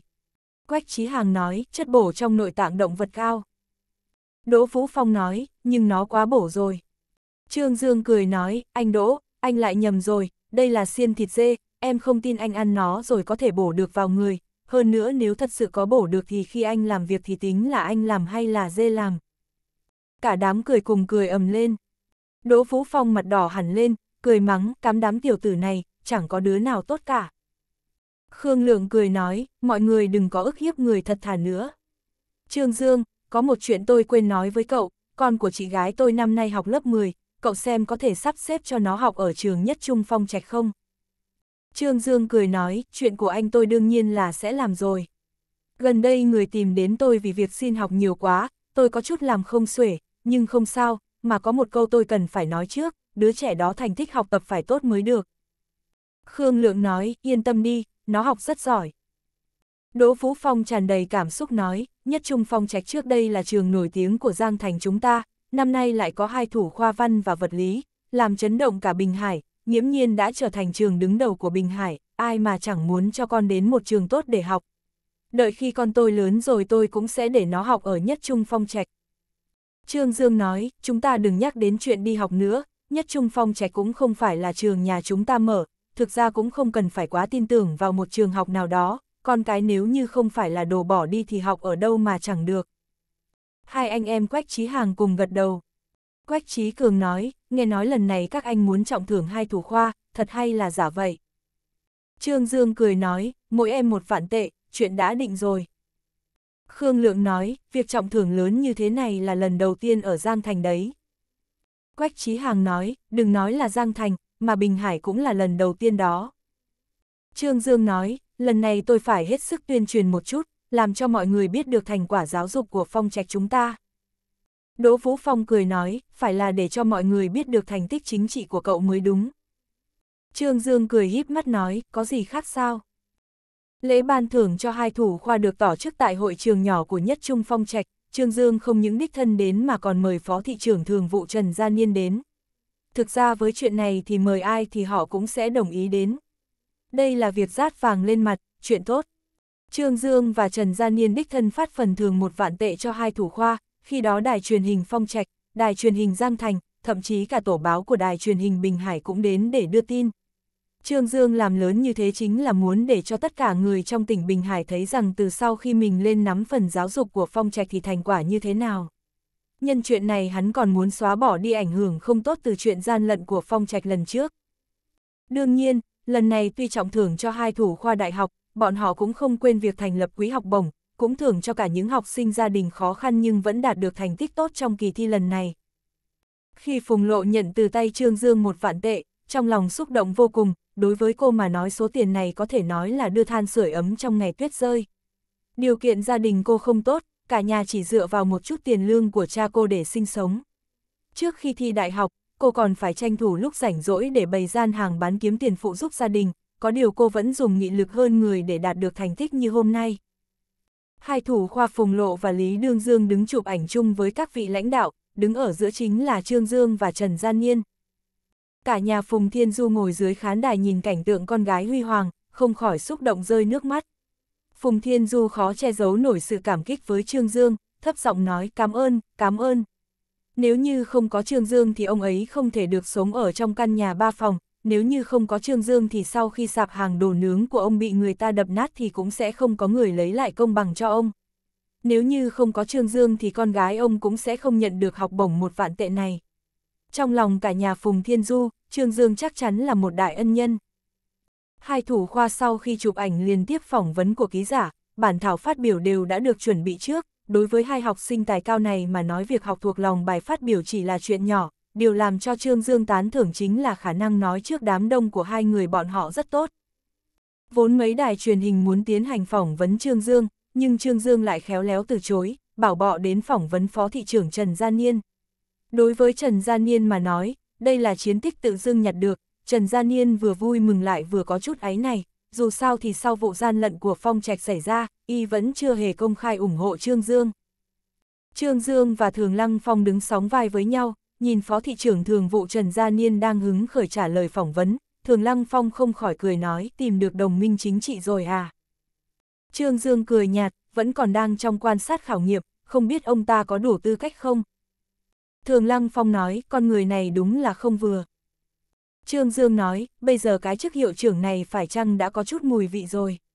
Còn muốn từ chức nữa không? Thường Lăng Phong nói, cậu vất vả như vậy mới giữ được cái ghế này của tôi, tôi giờ mà từ chức chẳng phải có lỗi với cậu sao?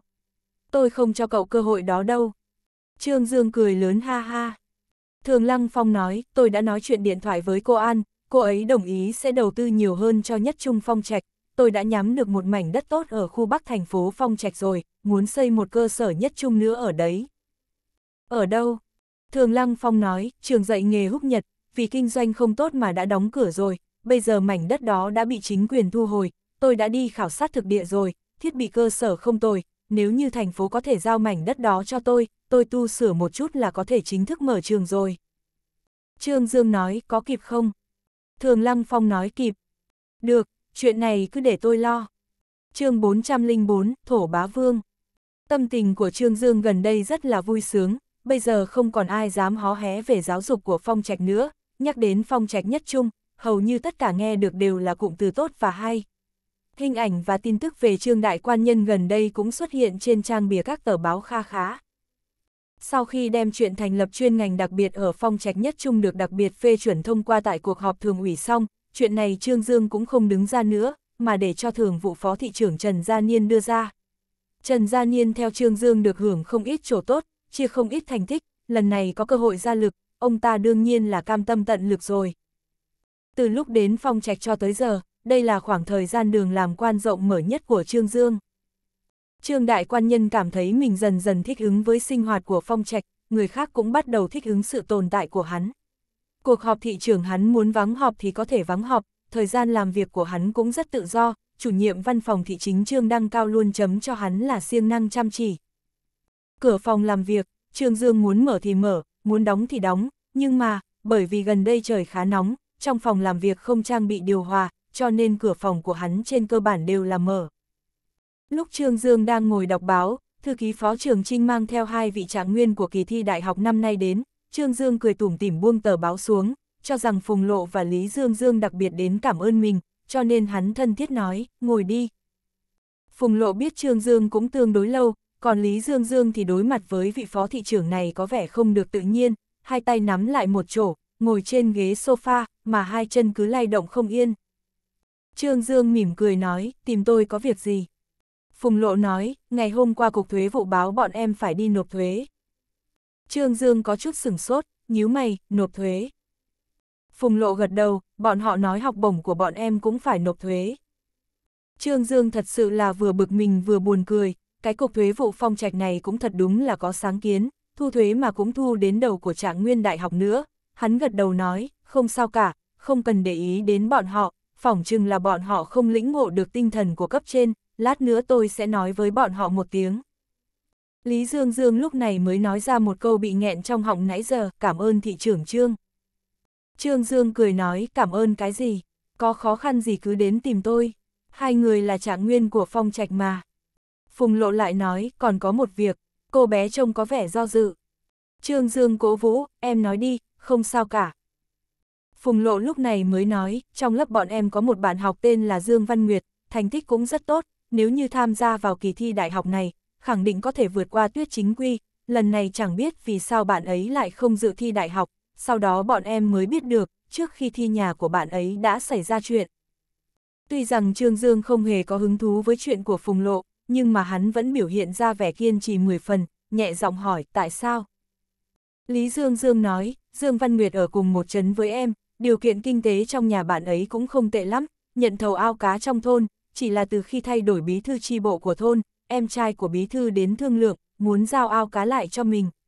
Người nhà của Dương Văn Nguyệt đương nhiên không muốn, không ngờ đã bị ghi hận lại, năm nay đại hạn, vị bí thư đó dùng dây nghĩa chống hạn để bơm nước trong ao cá của nhà bạn ấy, mười mấy ngàn cá trong ao cá của Dương ra toàn bộ đều chết sạch, người nhà của Dương Văn Nguyệt đi đến lý luận với vị bí thư đấy, kết quả là cả nhà bị đánh, bản thân Dương Văn Nguyệt cũng bị ngộ thương nên không thể tham gia vào kỳ thi đại học này. Trương Dương nói, một bí thư tri bộ của thôn mà có thể bá đạo như vậy sao? Chuyện này tuy rằng đủ chọc tức, nhưng dù sao thì Trương Dương cũng không thể nghe lời nói một phía của hai cô học sinh, hắn hỏi rõ hương chấn của Dương Văn Nguyệt, thật trùng hợp là, Dương Văn Nguyệt lại ở trong chấn Sa Tử Hà, mà trưởng chấn Dương Phong này chính là chồng của trưởng đài truyền hình Phong Trạch Lưu Diễm, Trương Dương cũng rất quen thuộc với đôi vợ chồng này. Lúc Phùng Lộ gần đi, đã mời Trương Dương đến nhà mình ăn đốt nướng, Trương Dương cười đáp ứng. Cất bước tiến Phùng Lộ và Lý Dương Dương, Trương Dương lập tức gọi điện thoại cho Cục Thuế vụ. Cục trưởng Cục Thuế vụ chắc Tề Quân chưa từng tiếp xúc qua với Trương Dương, nhưng mà cũng nghe nói qua về đại danh của Trương Dương, ông cũng không biết chuyện có người muốn thu thuế từ học bổng của hai người đỗ trạng nguyên trong kỳ thi đại học năm nay. Vừa nghe Trương Dương nói về chuyện này, chắc Tề Quân liền cuống quýt xin lỗi, thị trưởng Trương, tôi thật sự không biết, chuyện này khẳng định là người cấp dưới đã hiểu sai chính sách rồi, tôi lập tức đi giải thích một chút, ngài cứ yên tâm, học bổng sao có khả năng đóng thuế chứ. Cái này tôi xử lý, xử lý ngay.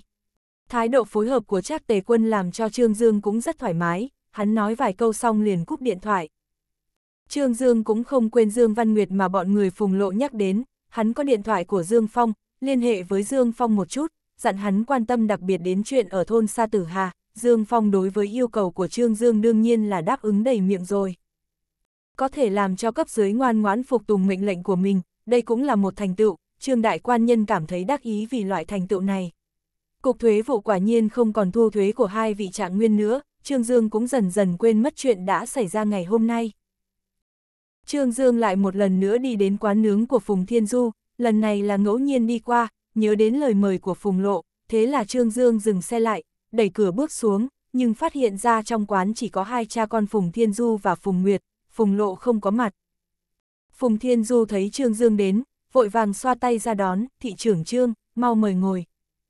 Trương Dương cười nói, tôi vừa ăn cơm xong, đúng lúc đi ngang qua đây, thuận tiện vào xem một chút. Phùng Thiên Du nói, chờ một chút nha, tôi làm cho ngài món ngon nhất. Trương Dương lắc đầu, thật sự no rồi, tôi cũng không khách khí với ông, Phùng Lộ tại sao không đến hỗ trợ. Phùng Thiên Du thở dài, bạn học của nó vào bệnh viện, nó đến chăm sóc. Trương Dương gật đầu, đang chuẩn bị đi, lại hỏi một câu, ai vậy? Dương Văn Nguyệt, ngã từ trên lầu xuống, đang cấp cứu trong bệnh viện. Trương Dương nghe nói đến tên của Dương Văn Nguyệt, không khỏi nhớ đến chuyện mà Phùng Lộ và Lý Dương Dương nói với hắn mấy hôm trước, sau khi hắn chào tạm biệt Phùng Thiên Du, trong đầu cứ mãi suy nghĩ đến chuyện này, chẳng biết vì sao, ma xui quỷ khiến thế nào mà hắn lại đi đến bệnh viện nhân dân. Trương Dương đi đến phòng cấp cứu hỏi quả nhiên có một cô gái tên là Dương Văn Nguyệt được người đưa đến cách đây 2 giờ, bây giờ đang làm phẫu thuật. Trương Dương trực tiếp đi đến ngoài phòng giải phẫu, thấy một đám thanh niên đang ngồi ngoài chờ, Phùng Lộ cũng có mặt, vài học sinh khách thì đang an ủi một đôi vợ chồng trung niên, từ trang phục trên người bọn họ có thể nhìn ra họ là nông dân. Lúc Trương Dương đi đến, một y tá từ trong phòng phẫu thuật bước ra, ai là người nhà của Dương Văn Nguyệt. Người đàn ông trung niên đứng dậy, tôi là tía nó đây. Do xuất phát từ lo lắng, cho nên giọng nói của nông dân này đã run lên. Cô y tá nói, bệnh nhân mất máu nghiêm trọng, cần truyền máu. Cần bao nhiêu tiền vậy? Phùng lộ cầm lấy tờ phối máu, để con đi cho, chú Dương, chú yên tâm, bọn con đều mang tiền đến, thiếu tiền thì bọn con hùn lại trả cho. Xoay người lại, thấy Trương Dương đứng cách đó không xa, Phùng lộ liền cắn môi, đôi mắt đẹp đỏ lên, nhìn ra được là cô bé vừa mới khóc xong, đi đến trước mặt Trương Dương, nhỏ giọng nói thị trưởng Trương, Dương Văn Nguyệt nhảy lầu. Trương Dương gật đầu, cũng không lập tức hỏi nguyên nhân, mà lại nói cứu người trước đi, tôi lập tức gọi điện cho viện trưởng nói chuyện một chút. Lúc Phùng Lộ đi cho máu, Trương Dương gọi điện cho viện trưởng Lương Phương, Lương Phương vừa nghe phó thị trưởng Trương Quang Lâm đến đây, vội vàng đi đến phòng phẫu thuật, ký túc xá cho cán bộ công nhân viên bệnh viện nằm ở sát vách, cho nên từ lúc nhận được điện thoại cho đến lúc xuất hiện trước mặt của Trương Dương còn chưa đến 10 phút. Bản thân Lương Phương hơi bị mập, tuy rằng đường không dài, nhưng mà chạy một đường tới đây cũng làm cho ông thở hồng hộc như trâu. Nghe Trương Dương nói về chuyện của Dương Văn Nguyệt xong, Lương Phương lập tức biểu thị là sẽ nỗ lực tiếp hành cứu giúp, vấn đề phí dụng thì để sau, ông ta mời Trương Dương vào phòng nghỉ chờ, còn bản thân thì đi vào phòng phẫu thuật để tìm hiểu tình huống. Lúc Lương Phương đi ra từ phòng phẫu thuật, thì Phùng Lộ cũng trở về.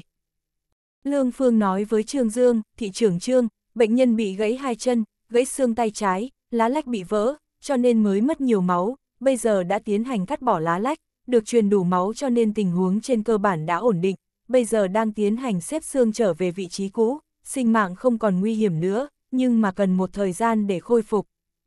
Trương Dương và Phùng Lộ nghe Dương Văn Nguyệt không bị nguy hiểm tính mạng, liền thở phào một hơi. Lương Phương lại nói, bệnh nhân hình như là rơi từ tầng 3 xuống bị thương. Ánh mắt của Trương Dương chuyển về hướng của Phùng Lộ, hắn cũng không rõ ràng là rốt cục đã xảy ra chuyện gì. Trong mắt Phùng Lộ đã ngập nước, ngày đó bọn em nói qua chuyện này với thị trưởng Trương xong, ngày hôm sau em trai của người bí thư đó liền dẫn người đến nhà của Dương Văn Nguyệt gây chuyện, không chỉ đánh bọn họ, mà còn đập đồ trong nhà bọn họ nữa. Dương Văn Nguyệt tức giận quá, liền lên chấn kiện cáo, nửa đường bị người nhà bọn họ chặn lại, sau đó liền truyền ra tin tức bạn ấy bị trượt chân ngã xuống từ tòa nhà của thôn ủy. Trương Dương và Lương Phương đều nghe ra được chuyện này nhất định có vấn đề, Trương Dương lập tức gọi điện cho Cục trưởng Công an Trình Diễm Đông, kêu hắn phái người đến hỗ trợ giám định tình trạng bị thương của Dương Văn Nguyệt, và thuận tiện tìm hiểu với người nhà của Dương Văn Nguyệt đã xảy ra chuyện gì. Bên này Trương Dương vừa gọi điện thoại, thì mấy người bạn học của Phùng Lộ liền từ ngoài cửa vọt vào, thất kinh nói, Phùng Lộ, không tốt, Lý Dương Dương và tất cả nam sinh trong lớp chúng ta đến chấn rồi, nói là muốn tìm hung thủ tính sổ. Phùng Lộ vừa nghe xong liền tái mặt lại, thất thanh hỏi, xảy ra khi nào? Bọn tớ vừa nghe nói xong, lúc Dương Văn Nguyệt tiến vào bệnh viện, Lý Dương Dương cũng bắt đầu liên hệ người, các bạn ấy hẳn đi được 2 giờ rồi. Phùng lộ cắn môi nói, hỏng rồi. Trương Dương đứng lên nói, tôi đi xem. Phùng lộ theo hắn ra ngoài, thị trưởng Trương, em đi với ngài. Trương Dương gật đầu, từ trong nội thành của phong trạch lái xe đến trấn Sa Tử Hà Thôn, đạp xe chạy qua cũng cần hơn cả tiếng đồng hồ, bây giờ chạy qua hẳn là vẫn còn kịp ngăn cản chuyện này. Trên đường lái xe đến thôn Sa Tử Hà, Trương Dương lại gọi điện cho Trình Diễm Đông một cú, dặn hắn mau chóng liên hệ với đồn công an địa phương, tránh xảy ra xung đột đổ máu không cần thiết. Từ miệng của Phùng Lộ biết được, sở dĩ Lý Dương Dương phẫn nộ như vậy, nguyên nhân là giữa chàng trai trẻ này và Dương Văn Nguyệt có tình cảm mông lung, tuy rằng hai bên chưa chính thức xác lập quan hệ người yêu, nhưng mà trong mắt tất cả học sinh trong lớp thì đã là một đôi rồi. Nếu như không phải bởi vì chậm trễ thi vào đại học này, với thành tích của Dương Văn Nguyệt cũng có thể đậu vào trường đại học hạng nhất. Phùng Lộ và Dương Văn Nguyệt lúc trước cũng là bạn tốt, cô bé Dương Dương nói, Văn Nguyệt rất kiên cường, bạn ấy sẽ không tự sát, em không tin bạn ấy lại trượt chân ngã xuống, khẳng định có nguyên nhân. Trương Dương nhìn Phùng Lộ rơi lệ, trong lòng có chút áy náy, nếu như lúc đầu mình coi trọng và quan tâm đến chuyện này, thì bi kịch lần này sẽ không xảy ra rồi. Hắn lặng lẽ hạ quyết tâm, chuyện của Dương Văn Nguyệt nhất định phải điều tra rõ ràng, nếu như bên trong thật sự tồn tại bàn tay đen, thì hắn tuyệt đối sẽ không bỏ qua cho thôn qua bách tín ở đây. Bề ngoài cao của xe tải đã biểu hiện được ưu thế của nó khi đi trên đường nhỏ, Trương Dương chỉ dùng nửa giờ là đã lái xe đến xa tử Hà Thôn. Vừa tiến vào cửa thôn liền nghe thấy tiếng chó sủa liên tục, Trương Dương đi theo tiếng chó sủa đến chỗ thôn ủy, thấy bên kia có tiếng người ồn ào, mấy trăm người đang súm lại ở bãi đất trống trước tòa nhà thôn ủy. Trương Dương biết nhất định đã xảy ra chuyện, hắn dừng xe lại, nói với Phùng Lộ, em ở trong xe chờ tôi, tôi không cho em ra, thì em không thể đi ra. Phùng Lộ ngoan ngoãn gật đầu. Trương Dương đẩy cửa xuống xe, nghe thấy Phùng Lộ thân thiết nói, ngài phải cẩn thận đó. Trương Dương gật đầu, bước qua, hắn đi vào giữa đám người vây xem, phát hiện ra bảy học sinh đang bị vây ở trung tâm, trên người bọn họ đầy máu, Lý Dương Dương đứng giữa bảy người, đầu bị đánh vỡ, máu chảy đầy mặt, nhưng mà đứa nhỏ này lại không hề có biểu hiện ra bất kỳ sự nao núng nào hết, cầm con dao nhỏ trong tay, lớn tiếng hô, Diêu Kiến Cường, mày ra đây, có gan thì một đấu một với tao. Đám người xuống lại xem cười ầm lên ha hả, một gã to con cởi trần, trên ngực có sâm một con thanh long cầm cây sắt trong tay, chỉ vào Lý Dương Dương nói, mẹ kiếp, biểu diễn cái gì, đám nhóc con mày cũng dám đến cửa tìm tao, có tin tao ném bọn mày xuống sông cho cá ăn không? Người này chính là em trai của bí thư tri bộ thôn Diêu Kiến Thiết, tên là Diêu Kiến Cường. Lý Dương Dương nổi giận gầm lên một tiếng, cầm dao vọt đến, vị trạng nguyên khoa văn phong trạch này dĩ nhiên cũng có dũng khí siêu cường, mà Diêu Kiến Cường cũng giơ gậy sắt lên. Lý Dương Dương vọt đến, bỗng có một bóng người vọt ra, chụp lấy cổ tay của cậu thanh niên này, Lý Dương Dương phẫn hận đến đỏ mắt, giận dữ hết, buông ra. Hắn muốn giấy, nhưng mà cảm thấy tay của đối phương cứng như sắt, căn bản là không lay động được chút nào, lúc này mới nhận ra người đến dĩ nhiên lại là Trương Dương, Lý Dương Dương càng hoảng sợ hơn. Trương Dương nói, máu nóng chạy lên não, nhất thời làm anh hùng, có nghĩ đến tiền đồ của ậu, thời gian sau này của cậu không? Siêu Kiến Cường không biết Trương Dương, hắn ta lớn tiếng nói, mẹ nó ăn gan hùm mật gấu rồi, dám đến thôn của bọn tao gây chuyện, có biết tao là ai không? Trương Dương nhẹ nhàng đoạt lấy con dao trong tay của Lý Dương Dương, bình tĩnh nhìn Diêu Kiến Cường, hỏi anh biết tôi là ai không? Vẻ mặt của Diêu Kiến Cường đầy kiêu ngạo, tao mặc kệ mày là ai, đám nhóc con bọn mày một thằng cũng đừng mong thoát, đến thôn tao gây chuyện, đánh người, trong mắt còn có vương pháp hay không, không sợ nói cho bọn mày biết, cái chấn này từ trên xuống dưới tất cả đều có quan hệ với tao, bọn mày không may rồi. Diêu Kiến Cường đi đến trước mặt của Trương Dương, hung thần ác sát chừng mắt nhìn Trương Dương nói cút đi. Mặt của Trương Dương vẫn không đổi sắc nhìn hắn ta, Diêu Kiến Cường tự nhiên cầm lấy côn sắt trong tay lên đập xuống chán của Trương Dương. Trương Dương chụp lấy cây sắt, cười lạnh nói, mày đúng là một nhân vật. Diêu Kiến Cường gào lên, các anh em, lên cho tao, đánh chết thằng nhóc không biết trời cao đất rộng này. Mười mấy thôn dân bình thường có quan hệ tốt với Diêu Kiến Cường liền dơ gậy sắt côn sẻng vọt đến. Trương Dương nhấc chân lên, đạp thân thể cao to của Diêu Kiến Cường bay ra ngoài, Diêu Kiến Cường lui lại mấy bước, đụng vào trên đám người đang xông đến, có hai người bị hắn tông ngã xuống đất. Diêu Kiến Cường có tiếng là ác bá trong thôn Sa Tử Hà, cả nhà hắn tổng cộng có 5 anh em, Diêu Kiến Cường là lão tứ, lão đại là bí thư tri bộ Diêu Kiến Thiết. Từ khi Diêu Kiến Thiết được chọn làm bí thư tri bộ, đám anh em nhà này càng hoàng hành ngang ngược hơn, dân chúng trong thôn tuy rằng có lòng oán giận bọn chúng, nhưng phần lớn đều là giận mà không dám nói.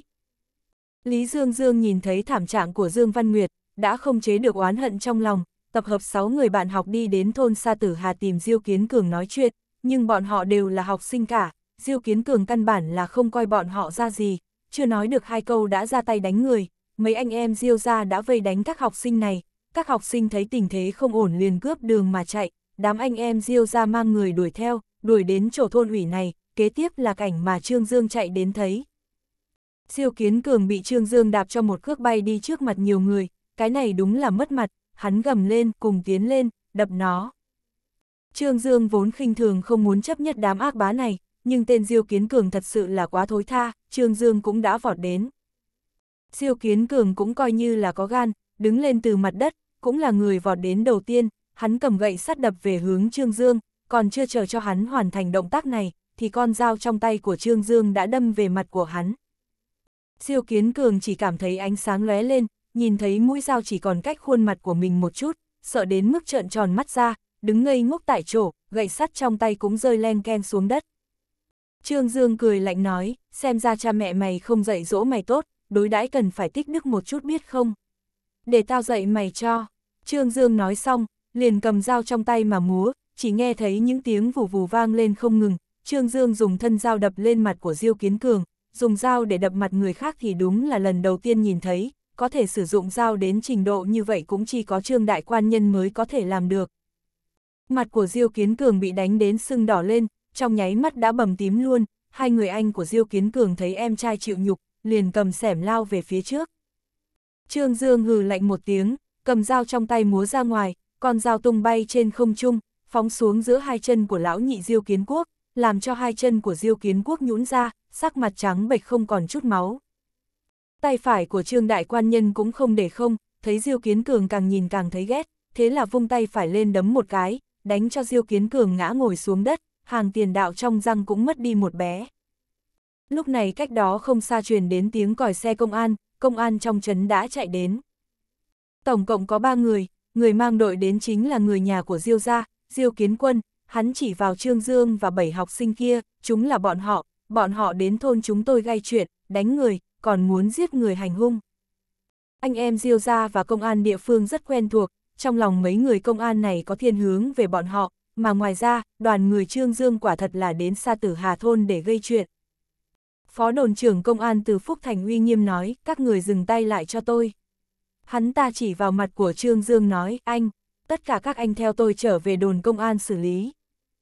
Trương Dương chậm rãi đi đến trước mặt của Từ Phúc Thành, bình tĩnh nhìn đối phương nói, anh không nhận ra tôi. Từ Phúc Thành nói, tôi chỉ quen biết pháp luật. Nói xong câu đó, hắn cũng thấy được khuôn mặt của Trương Dương, nương theo ngọn đèn nhìn một chút, trong lòng liền hoảng hốt, từ Phúc Thành tuy chỉ là phó đồn trưởng của đồn công an thị trấn, chỉ là mấy ngày hôm nay lưu ý xem báo, đặc biệt là Tom khoảng thời gian này, tin tức về Trương Dương được đăng rất nhiều trên các trang báo, từ Phúc Thành nhanh chóng nhận ra người trước mắt chính là phó thị trưởng Trương Dương, hắn cười xấu hổ, nhưng mà vẫn thấp giọng hỏi, anh là thị trưởng Trương, lúc trước hắn chưa từng gặp mặt con người thật của Trương Dương. Trương Dương cười gật đầu, thì ra anh cũng nhận ra tôi. Từ Phúc Thành vội vã lắc đầu nói, tôi không nhận ra anh. Nói xong những lời này liền nhận ra có chút không thích hợp, liền vội sửa lời, tôi nhận ra, nhận ra. Siêu kiến cường mang cái mặt xương to đùng như mặt heo đến trước mặt từ Phúc Thành, mơ hồ nói, đồn trưởng từ, bắt hắn. Bọn chúng, bắt tất cả lại, hắn vừa nói khóe miệng vừa văng ra một ít máu chưa khô, thật sự rất là thê thảm.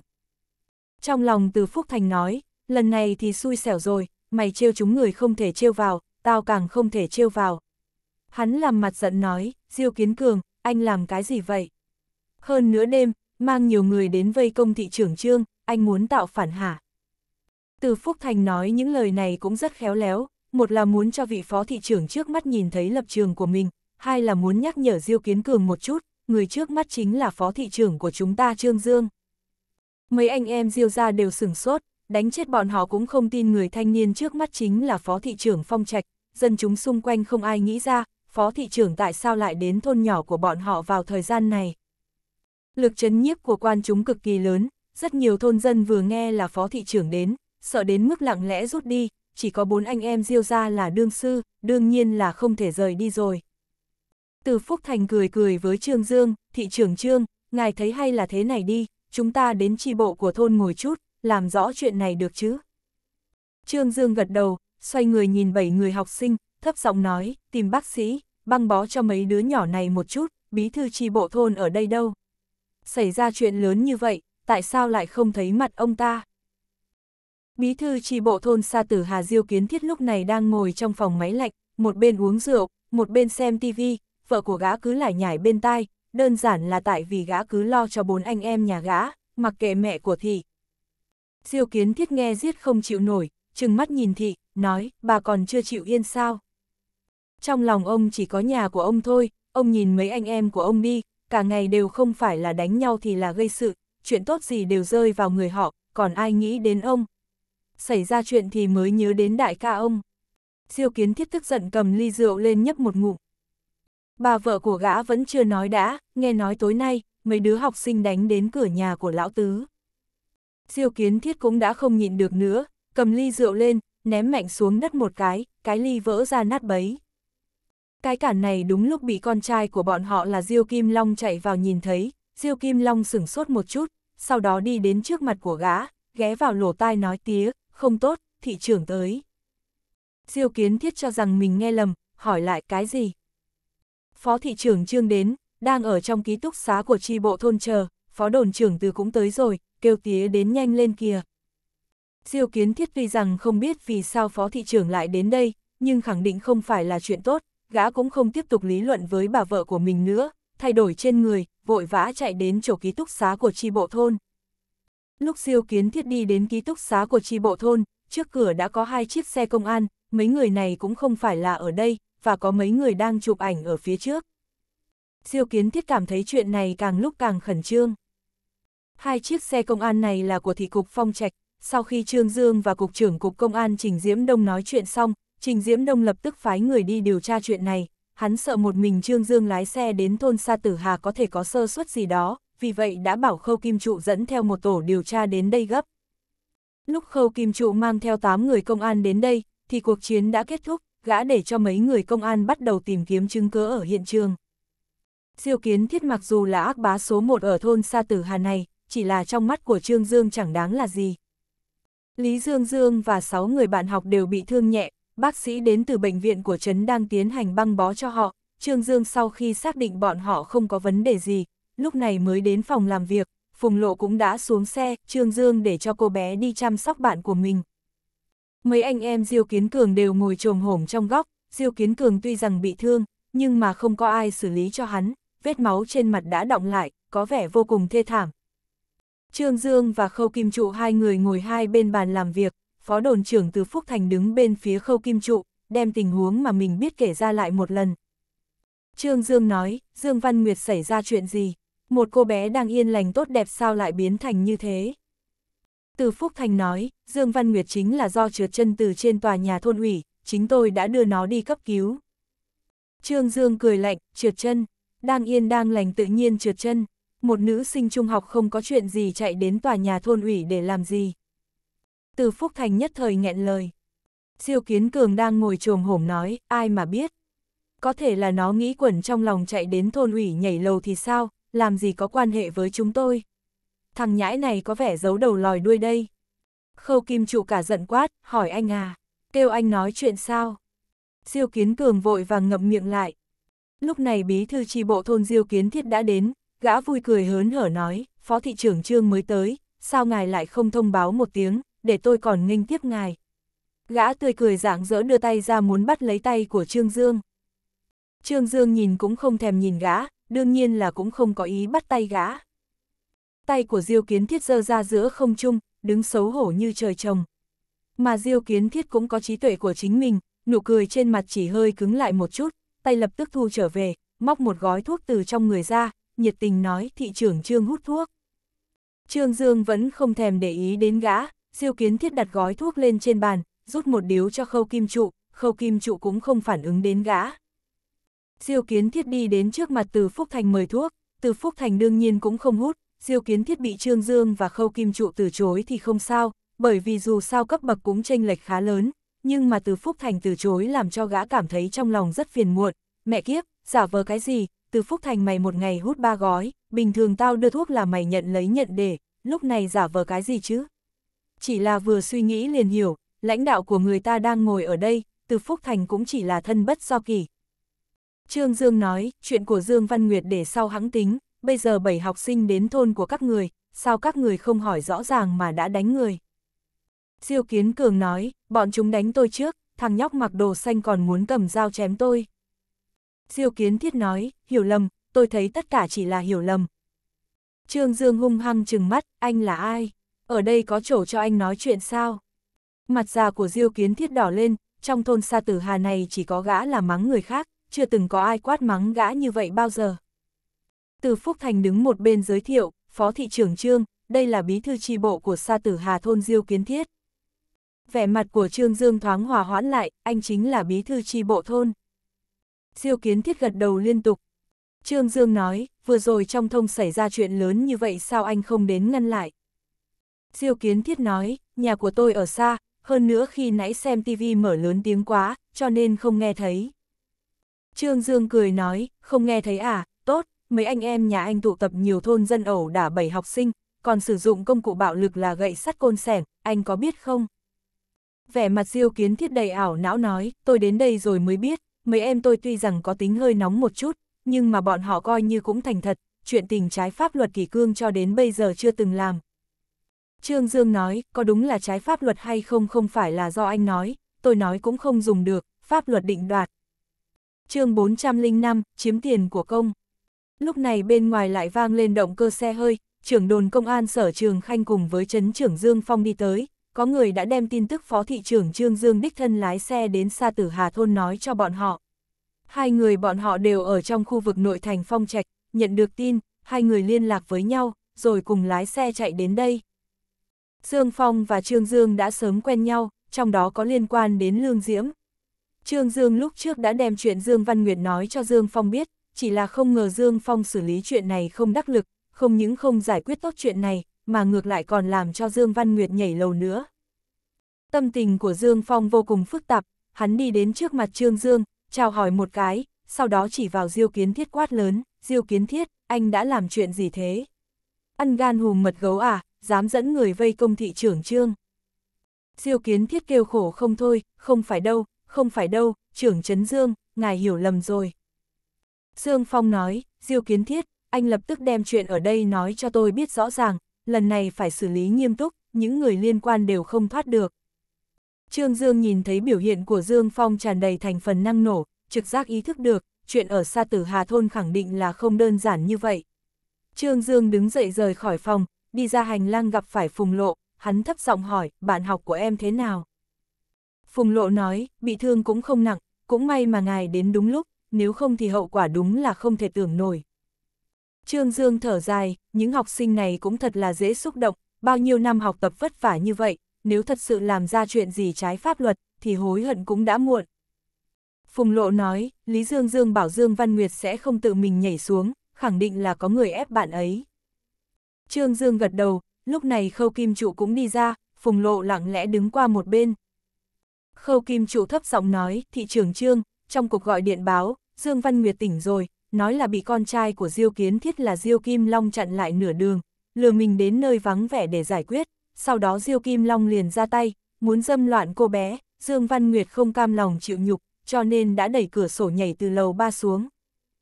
Trương Dương vừa nghe xong liền nổi máu lên, xã hội hiện nay mà ngang nhiên làm ra loại chuyện này, đúng là dù nhịn được cũng không thể nhịn, Trương Dương tức giận hét, bắt hết tất cả anh em nhà bọn chúng lại cho tôi, chuyện này nhất định phải điều tra rõ. Trong lòng Diêu Kiến Thiết thấp thỏm bất an, gã tiến đến bên cạnh trưởng Trấn Dương Phong thấp giọng nói, trưởng Trấn Dương. Dương Phong cả giận nói, anh đừng gọi tôi, nhìn xem nhà anh làm ra chuyện tốt gì kìa. Diêu Kiến Thiết nói, chuyện là thế này, Dương ra bọn họ thấy điều kiện nhà tôi tốt, muốn làm thân gia với nhà chúng tôi, chỉ là con trai tôi không thích khuê nữ nhà bọn họ, mà con gái nhà họ cứ dày mặt bám theo tôi. Buổi chiều đến phòng làm việc tìm Kim Long của tôi, Kim Long không muốn, nó lấy nhảy lầu ra uy hiếp, vốn Kim Long chỉ cho rằng nó nói đùa, ai biết nó thật sự nhảy xuống.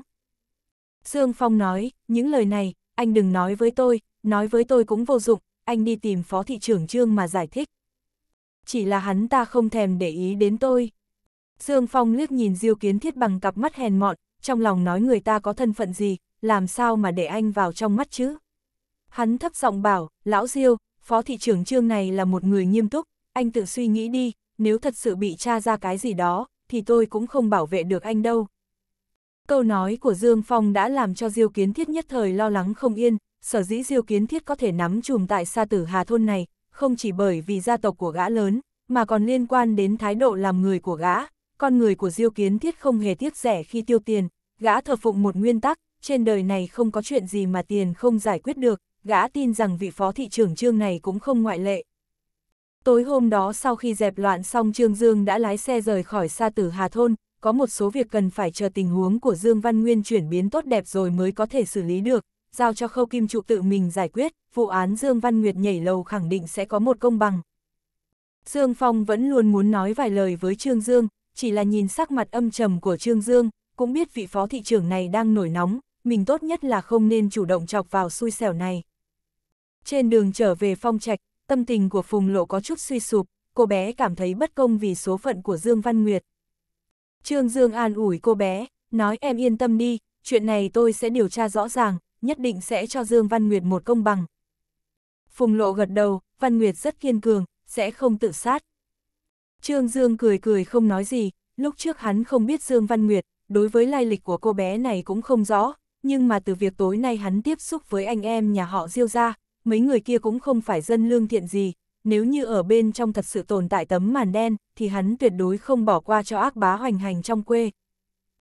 Trương Dương thật không ngờ lúc sắp ngủ mà vẫn còn người đến phòng của mình, lúc Diêu Kiến Thiết đi đến khách sạn Bạch Lộ, cũng đã là 11 giờ đêm. Gã đến một mình, trong tay còn có một cái túi nhỏ màu đen, tươi cười đứng ở ngoài cửa. Trương Dương hơi nhíu mày. Diêu Kiến Thiết cúi đầu khom lưng nói, thị trưởng Trương, ngài không nhớ rõ tôi, tôi là Diêu Kiến Thiết, là bí thư tri bộ đảng của Sa Tử Hà Thôn. Trương Dương cũng không nhịn được, nói, bây giờ là mấy giờ rồi. Có việc gì ngày mai đến cơ quan tìm tôi. Hắn muốn đóng cửa lại, có điều Diêu Kiến Thiết đã đưa chân cản cánh cửa lại, vẫn là vẻ mặt tươi cười, thị trưởng Trương, tôi có việc quan trọng phải nói với ngài. Trương Dương ý thức được, trước mắt là một kẻ vô lại, hắn gật đầu, muốn nghe xem đối phương nói cái gì. Trương Dương xoay người trở vào phòng, Diêu Kiến Thiết đi theo vào, tiện tay đóng cửa phòng lại. Diêu Kiến Thiết cũng không nói nhiều lời, mà mở cái túi đen, lấy hai thỏi vàng ra đặt trước mặt Trương Dương. Trương Dương lại nhíu mày, nhìn Diêu Kiến Thiết, anh có ý gì? Diêu Kiến Thiết vẫn tươi cười nói, lễ vật nho nhỏ, không phải kinh ý. Trương Dương thật sự có chút kinh ngạc, một bí thư chi bộ thôn, một năm thu nhập được bao nhiêu chứ, mà lại có thể ra tay thoải mái như vậy, cái này không phải nói rõ là có chuyện sao. Trong lòng Trương Dương nói, Diêu Kiến Thiết ơi là Diêu Kiến Thiết, mày thật sự đúng là muốn tìm chết rồi. Diêu Kiến Thiết thấy Trương Dương không nói lời nào, còn tưởng rằng đối phương bị hai thỏi vàng này đả động, trong khái niệm của Diêu Kiến Thiết, trên đời này không có chuyện gì mà tiền không giải quyết được. Gã cười nói thị trưởng Trương, con người của Diêu Kiến Thiết tôi từ trước đến uống một giọt nước báo lại một dòng suối, người tôi quen biết cũng không ít, tôi tự nhận là có chút ánh mắt, con người của ngài có thể kết được. Gã đẩy hai thỏi vàng đến trước mắt của Trương Dương, xin hãy nhận lấy. Trương Dương nở nụ cười, Diêu Kiến Thiết thấy hắn cười, cho rằng hắn bị vàng đả động, cũng cười theo, sau đó, thị trưởng Trương có chuyện gì xin cứ phân phó. Trương Dương bỗng nhiên vỗ bàn một cái, cả giận nói, anh làm cái gì thế? Coi tôi là cái gì? Nụ cười của Diêu Kiến Thiết cứng lại ngay trên mặt, gã không ngờ Trương Dương lại đột nhiên trở mặt thị trưởng Trương. Trương Dương nói, Diêu Kiến Thiết, tôi không sợ nói cho anh biết, anh có cái quan hệ gì thì cứ nhắm đến tôi, anh rốt cục đã phạm chuyện gì, tôi nhất định sẽ điều tra rõ, người tôi đã gặp cũng không ít, cả gan làm loạn cũng nhiều lắm, nhưng người như anh thì tôi lần đầu thấy, công khai đút lót, có gan, có đủ can đảm. Diêu kiến thiết lúc này mới ý thức được ngày hôm nay đã chọn sai đối tượng tặng lễ rồi, phản ứng của gã tương đối nhanh, cười nói, ừ. Tôi, tôi chỉ nói giỡn với ngài thôi, cái này, đây là hai mảnh đồng mà, chỉ đùa với ngài chút thôi. Trương Dương cười lạnh nói, đùa tôi, anh đi ra cửa mà hỏi thăm, trong cả giang thành ai dám chọc tôi. Diêu kiến thiết sợ đến mức xém tí đã quỳ xuống trước mặt Trương Dương, gật đầu liên tục thị trưởng Trương, tôi. Tôi sai rồi, sau này tôi không dám nữa, tôi đi, không làm phiền ngài nghỉ ngơi, gã nói xong liền đứng dậy đi ngay. Trương Dương gọi lại, đừng quên đem hai mảnh đồng của anh đi. Nhìn bóng lưng Diêu Kiến Thiết vội vã chạy trốn, trong đôi mắt của Trương Dương hiện lên một tia hàn ý, ngay từ đầu hắn đã không xem tình huống mà Phùng Lộ và Lý Dương Dương phản ứng ra gì rồi, mà bởi vì hắn chủ quan như vậy, mới làm cho chuyện này không ngừng chuyển biến xấu. Dương Văn Nguyệt nhảy lầu khẳng định có liên quan đến Diêu gia, mà Diêu gia làm sao mà biết được Dương Văn Nguyệt đi kiện cáo. Diêu Kiến Thiết chỉ là một bí thư chi bộ thôn nho nhỏ bình thường thôi mà ra tay lại rộng rãi như vậy, lấy ra đến hai thỏi vàng để hối lộ mình, tiền này ở đâu ra? Một loạt vấn đề liên tiếp làm cho Trương Dương suy nghĩ sâu xa. Sáng ngày hôm sau, Trương Dương mua một ít thực phẩm dinh dưỡng, đi đến Bệnh viện Nhân dân Phong Trạch thăm Dương Văn Nguyệt sau khi phẫu thuật. Đi đến phòng bệnh của Dương Văn Nguyệt, phát hiện ra Phùng Lộ đã có mặt, còn có hai cô bé khác đều là bạn học của Dương Văn Nguyệt. Phùng Lộ không ngờ là Trương Dương lại đến sớm như vậy, vội vàng đứng dậy nói thị trưởng Trương. Trương Dương cười gật đầu, cầm thực phẩm dinh dưỡng đặt lên bàn. Trên mặt Dương Văn Nguyệt bị thương nhiều chỗ, nhưng mà cũng may là không bị hủy dung, từ trên những vết thương ấy vẫn có thể thấy được, đây là một cô gái xinh đẹp. Nghe nói là thị trưởng đến, liền cười chào hỏi Trương Dương. Trương Dương ngồi xuống bên cạnh cô bé, nhẹ giọng nói, Dương Văn Nguyệt, vết thương còn đau không? Dương Văn Nguyệt nhỏ giọng nói, nhịn được.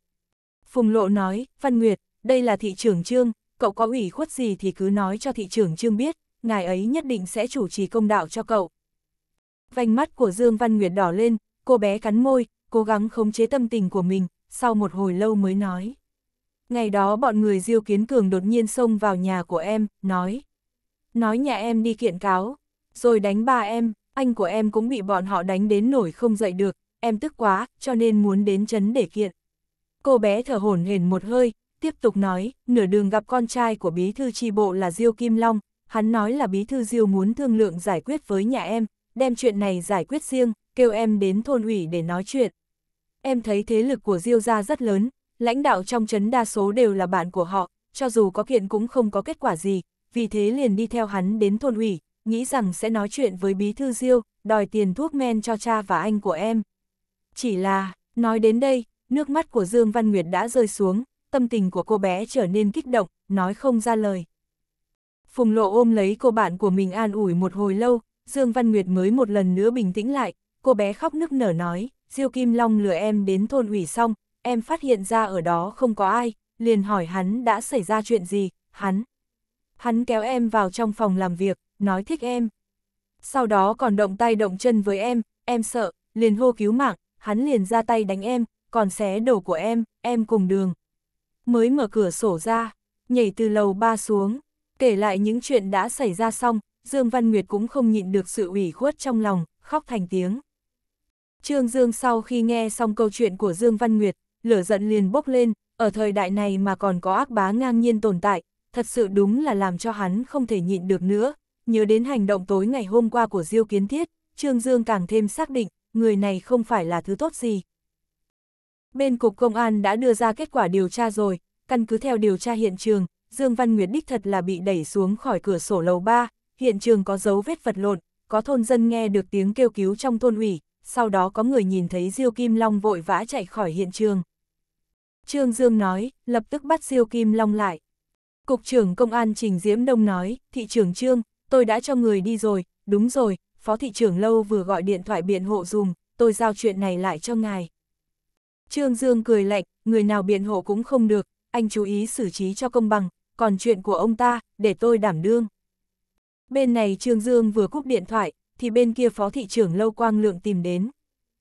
Quan hệ của Trương Dương và Lâu Quang Lượng cũng không được tốt lắm, bởi vì vấn đề sở hữu quyền lực của ban chiêu thương, Lâu Quang Lượng rất có thành kiến với Trương Dương, ngày hôm nay chủ động đến cửa, là bởi vì chuyện của Diêu Kiến Thiết, Diêu Kiến Thiết là người thân nơi xa của ông ta, Lâu Quang Lượng vốn không muốn tìm Trương Dương, ông gọi điện cho Trình Diễm Đông, chỉ là Trình Diễm Đông đem chuyện này đổ lên trên đầu của Trương Dương, Lâu Quang Lượng suy nghĩ một chút, tự mình đi tìm Trương Dương thì tốt hơn.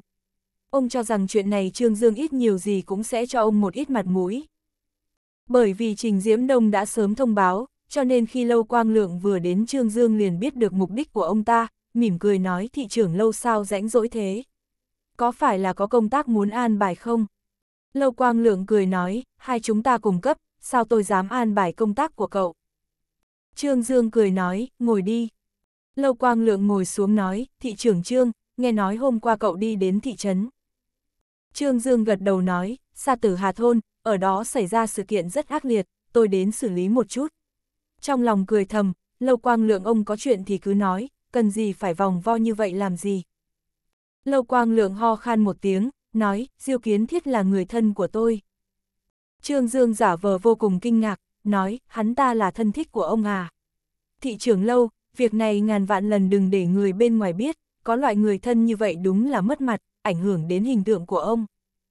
Mặt già của lâu quang lượng đỏ lên, trong lòng thầm mắng, thằng nhãi chết tiệt, cái này không phải là mắng ngay mặt tôi sao? Chỉ là lâu quang lượng cũng không thể trở mặt với Trương Dương, đành cười nói, nông dân không có kiến thức. Trương Dương nói, cũng không thể nói như vậy, hắn ta hiểu không ít về mấy cái đường ngang ngõ tắt này, tối hôm qua còn mò đến chỗ ở của tôi tặng vàng thỏi nữa. Lâu quang lượng không biết chuyện này, sửng sốt một chút, vàng thỏi. Trương Dương gật đầu, hai cây, còn to hơn ngón cái của tôi nữa, người thân này của ông đúng là có tiền thật. Trong lòng lâu quang lượng thầm mắng diêu kiến thiết ngu ngốc, đồng thời lại sinh ra cảm giác bất bình, cái thứ vô liêm sỉ này, bình thường tại sao không thấy mày đến hiếu kính tao như vậy. Nhíu nhíu mày nói, hắn dám làm ra hành động bất chính này, trở về tôi sẽ phê bình hắn. Trương Dương nói, thị trường lâu, có thể ông không biết là đã xảy ra chuyện gì rồi đúng không? Lâu Quang Lượng nhìn Trương Dương một chút, không phải là người hai nhà đánh nhau sao? Trương Dương nói, Diêu ra đánh người nhà họ Dương chỉ là một chuyện, Dương Văn Nguyệt muốn đến chấn kiện cáo, bị Diêu Kim Long lừa đến thôn ủy, tên khốn nạn này muốn cưỡng hiếp người ta, Dương Văn Nguyệt không cam lòng chịu nhục, cho nên đã nhảy lầu xuống. Lâu Quang Lượng thật sự không biết là chuyện này lại nghiêm trọng như thế, ông hơi giật mình nhìn Trương Dương, qua một hồi lâu mới nói cũng không thể nghe theo lời nói của một bên. Trương Dương cười lạnh nói, cái gì mà là lời nói của một bên. Bây giờ Dương Văn Nguyệt đang nằm trong bệnh viện, nhà họ Dương bị đập nát tan hoang, đây đều là sự thật, đã là thời đại nào rồi, mà người nhà của Diêu Kiến thiết ỉ vào chút quyền thế, ước hiếp bách tính, hiếp đáp thôn dân, hành động của bọn họ căn bản là ác bá, loại sâu mọt này ảnh hưởng nghiêm trọng đến sự hài hòa của xã hội, tổn hại đến hình tượng vinh quang của đảng chúng ta, không chừng trị chúng, làm sao để cho dân chúng tâm phục, làm sao có thể làm cho dân chúng sống yên lành. Lâu Quang Lượng nói, chuyện này trước tiên cần điều tra rõ ràng, hẳn là không nghiêm trọng như vậy đâu. Trương Dương nói, nghiêm trọng hay không nghiêm trọng tôi cũng không rõ ràng, dù sao thì, chỉ bằng chút thu nhập của Diêu Kiến Thiết, mà tùy tiện móc hai thỏi vàng ra tặng lễ, bên trong khẳng định là có vấn đề rồi, thị trường lâu, cái này không phải là tôi không cho ông mặt mũi, đảng và nhà nước giao quyền lực cho chúng ta không phải là để cho chúng ta dùng lấy lòng nhau, mà là để cho chúng ta có thực lực kiên định làm việc cho dân chúng. Tôi sẽ điều tra rõ ràng chuyện này, tuyệt đối không bỏ qua cho bất kỳ con chuột nhất nào vi phạm pháp luật bên trong. Nói đến mức như vậy rồi, thì Lâu Quang Lượng cũng rõ ràng là không cần phải tiếp tục nói nữa, người ta đã không cho mình mặt mũi rồi. Lâu Quang Lượng chán trường rời đi. Lâu Quang Lượng vừa đi không bao lâu, trưởng đài truyền hình Lương Diễm đã đến cửa, cô ta lần này đến đây là vì chồng, tối hôm qua sau khi Dương Phong trở về, đã ý thức được lần này đã chọc phải sai lầm lớn, y liền đem chuyện này nói lại cho vợ nghe, Lương Diễm vừa nghe xong liền lập tức rõ ràng lần này chồng mình đã chọc giận Trương Dương rồi, Trương Dương giao chuyện của Dương Văn Nguyệt cho Dương Phong xử lý, ý định là muốn chồng mình phối hợp cho tốt, chỉ là không ngờ chuyện này lại nghiêm trọng đến mức này. Chồng gây ra lửa, làm vợ đương nhiên là có trách nhiệm đi dập lửa dùm chồng, cho nên Lương Diễm mới tìm đến Trương Dương, mong rằng vị bạn học cùng trường đảng này có thể cho mình một ít mặt mũi. Lương Diễm nhìn thấy Trương Dương liền lập tức nói, thị trưởng Trương, ngày hôm qua tôi đã mắng lão chồng chết tiệt cả đêm rồi, ổng đã hối hận muốn chết, ngài giao cho ổng chút việc nhỏ như vậy mà ổng cũng không làm được, thật sự đúng là một phế vật. Trương Dương cười nói, chị Lương, anh ấy là chấn trưởng, có thể là do chuyện ở xa tử Hà Thôn nhỏ quá, nên anh ấy không để ý đến. Lương Diễm lập tức nghe được những lời này của Trương Dương có chút không đúng, ngồi xuống ghế sofa mà chờ. Thư ký của Trương Dương phó trưởng Trinh pha cho cô một tách trà. Lương Diễm nói, thị trưởng Trương, nghe nói cô bé kia rất thảm. Trương Dương gật đầu, người nhà của bí thư tri bộ thôn Sa Tử Hà căn bản là một đám thổ phỉ ác bá, tôi đã cho điều tra rồi, chuyện của Dương Văn Nguyệt đã được lập án, lão Dương nhà chị không có dính dáng gì với Diêu Kiến Thiết chứ. Lương Diễm vội vã lắc đầu, không có, tuyệt đối không có, lão chồng nhà chị là một con thỏ nhát gan, chuyện vi phạm pháp luật ổng không dám làm đâu. Trương Dương nói, không dính dáng là tốt, con người diêu kiến thiết này có thể có vấn đề kinh tế. Một câu nói vô cùng bình thản nhưng lại làm cho Lương Diễm nghe mà hết hồn, cô ta cũng rất rõ ràng quan hệ của chồng và Diêu Kiến Thiết, ngày lễ ngày Tết gì Diêu Kiến Thiết cũng đến tặng lễ vật cả, con gái của Diêu Kiến Thiết vào trạm phát thanh của Trấn, chính là cô ta giới thiệu vào, bởi vì chuyện này mà Diêu Kiến Thiết đã tặng cho vợ chồng cô 20 ngàn, Lương Diễm có cảm giác như đang ở trên một tòa nhà bị nghiêng vậy, cô cắn môi, cẩn thận hỏi, vấn đề của A Diêu Kiến Thiết rất nghiêm trọng sao? Trương Dương nói, bây giờ vẫn chưa biết, nhưng mà tôi chắc chắn rằng người này có vấn đề kinh tế. Lương Diễm nói, một cán bộ thôn thì có thể có nhiều vấn đề kinh tế. Trương Dương nói, được rồi, Lão Dương có đem chuyện học sinh tìm tôi kiện cáo nói cho Diêu ra biết không? Tim của Lương Diễm đập bình bịch, ổng không dám đâu. Trong lòng lúc này sợ đến mức không chịu nổi nữa. Sức nghe của Trương Dương linh mẫn đến mức phải nói là thuộc hàng kinh khủng, từ nhịp tim đột nhiên đập nhanh của Lương Diễm thì đã khẳng định rằng Lương Diễm đang có chuyện giấu mình, Trương Dương cũng không hỏi tới, mà chỉ cười nói, chị Lương cứ yên tâm, kêu lão Dương nhà chị yên tâm làm việc, phối hợp tốt với điều tra của cấp trên là được. Lương Diễm không biết mình đi ra khỏi phòng làm việc của Trương Dương thế nào nữa, chuyện này cô càng nghĩ càng sợ, nếu như Diêu Kiến Thiết thật sự có vấn đề kinh tế nghiêm trọng, cuối cùng nói không chừng sẽ lôi cả nhà cô ra, tuy rằng 20 ngàn không tính là lớn gì, chỉ đủ bị phạt thôi. Vốn dĩ mình nghĩ rằng còn có thể trông cậy vào vị bạn học cũ Trương Dương này, có thể tiến thêm một bước trong con đường làm quan, nhưng không ngờ rằng Trương Dương lại đem cơn lửa này đổ lên đầu của vợ chồng mình. Lương Diễm càng nghĩ càng hoảng sợ, nghĩ tới nghĩ lui, liền nghĩ đến Thường Hải Tâm, lúc trước cô và Thường Hải Tâm sống chung một ký túc xá, quan hệ của hai người vẫn rất tốt, Trương Dương và Thường Hải Tâm có quan hệ không bình thường, chuyện này nếu như Thường Hải Tâm nguyện ý đứng ra nói giúp, thì không chừng Trương Dương sẽ bỏ qua cho hai vợ chồng cô. Vì thế Lương Diễm liền gọi điện cho Thường Hải Tâm một cú, rất trùng hợp, Thường Hải Tâm và anh hai của cô là Thường Hải Long đang ở trên xe đến Giang Thành, bọn họ đến thăm đại ca Thường Hải Thiên. Lương Diễm ấp úng đem chuyện của mình nói ra, cô chỉ thừa nhận mình đã nhận chỗ tốt của Diêu Kiến Thiết, và cũng nói ra một ít về tình hình thực tế. Lần này nếu như Diêu Kiến Thiết thật sự gặp chuyện, thì không biết có lôi hai vợ chồng ra hay không, Lương Diễm coi như là vì đề phòng chu đáo, cho nên nhờ Thường Hải Tâm nói giúp vài lời.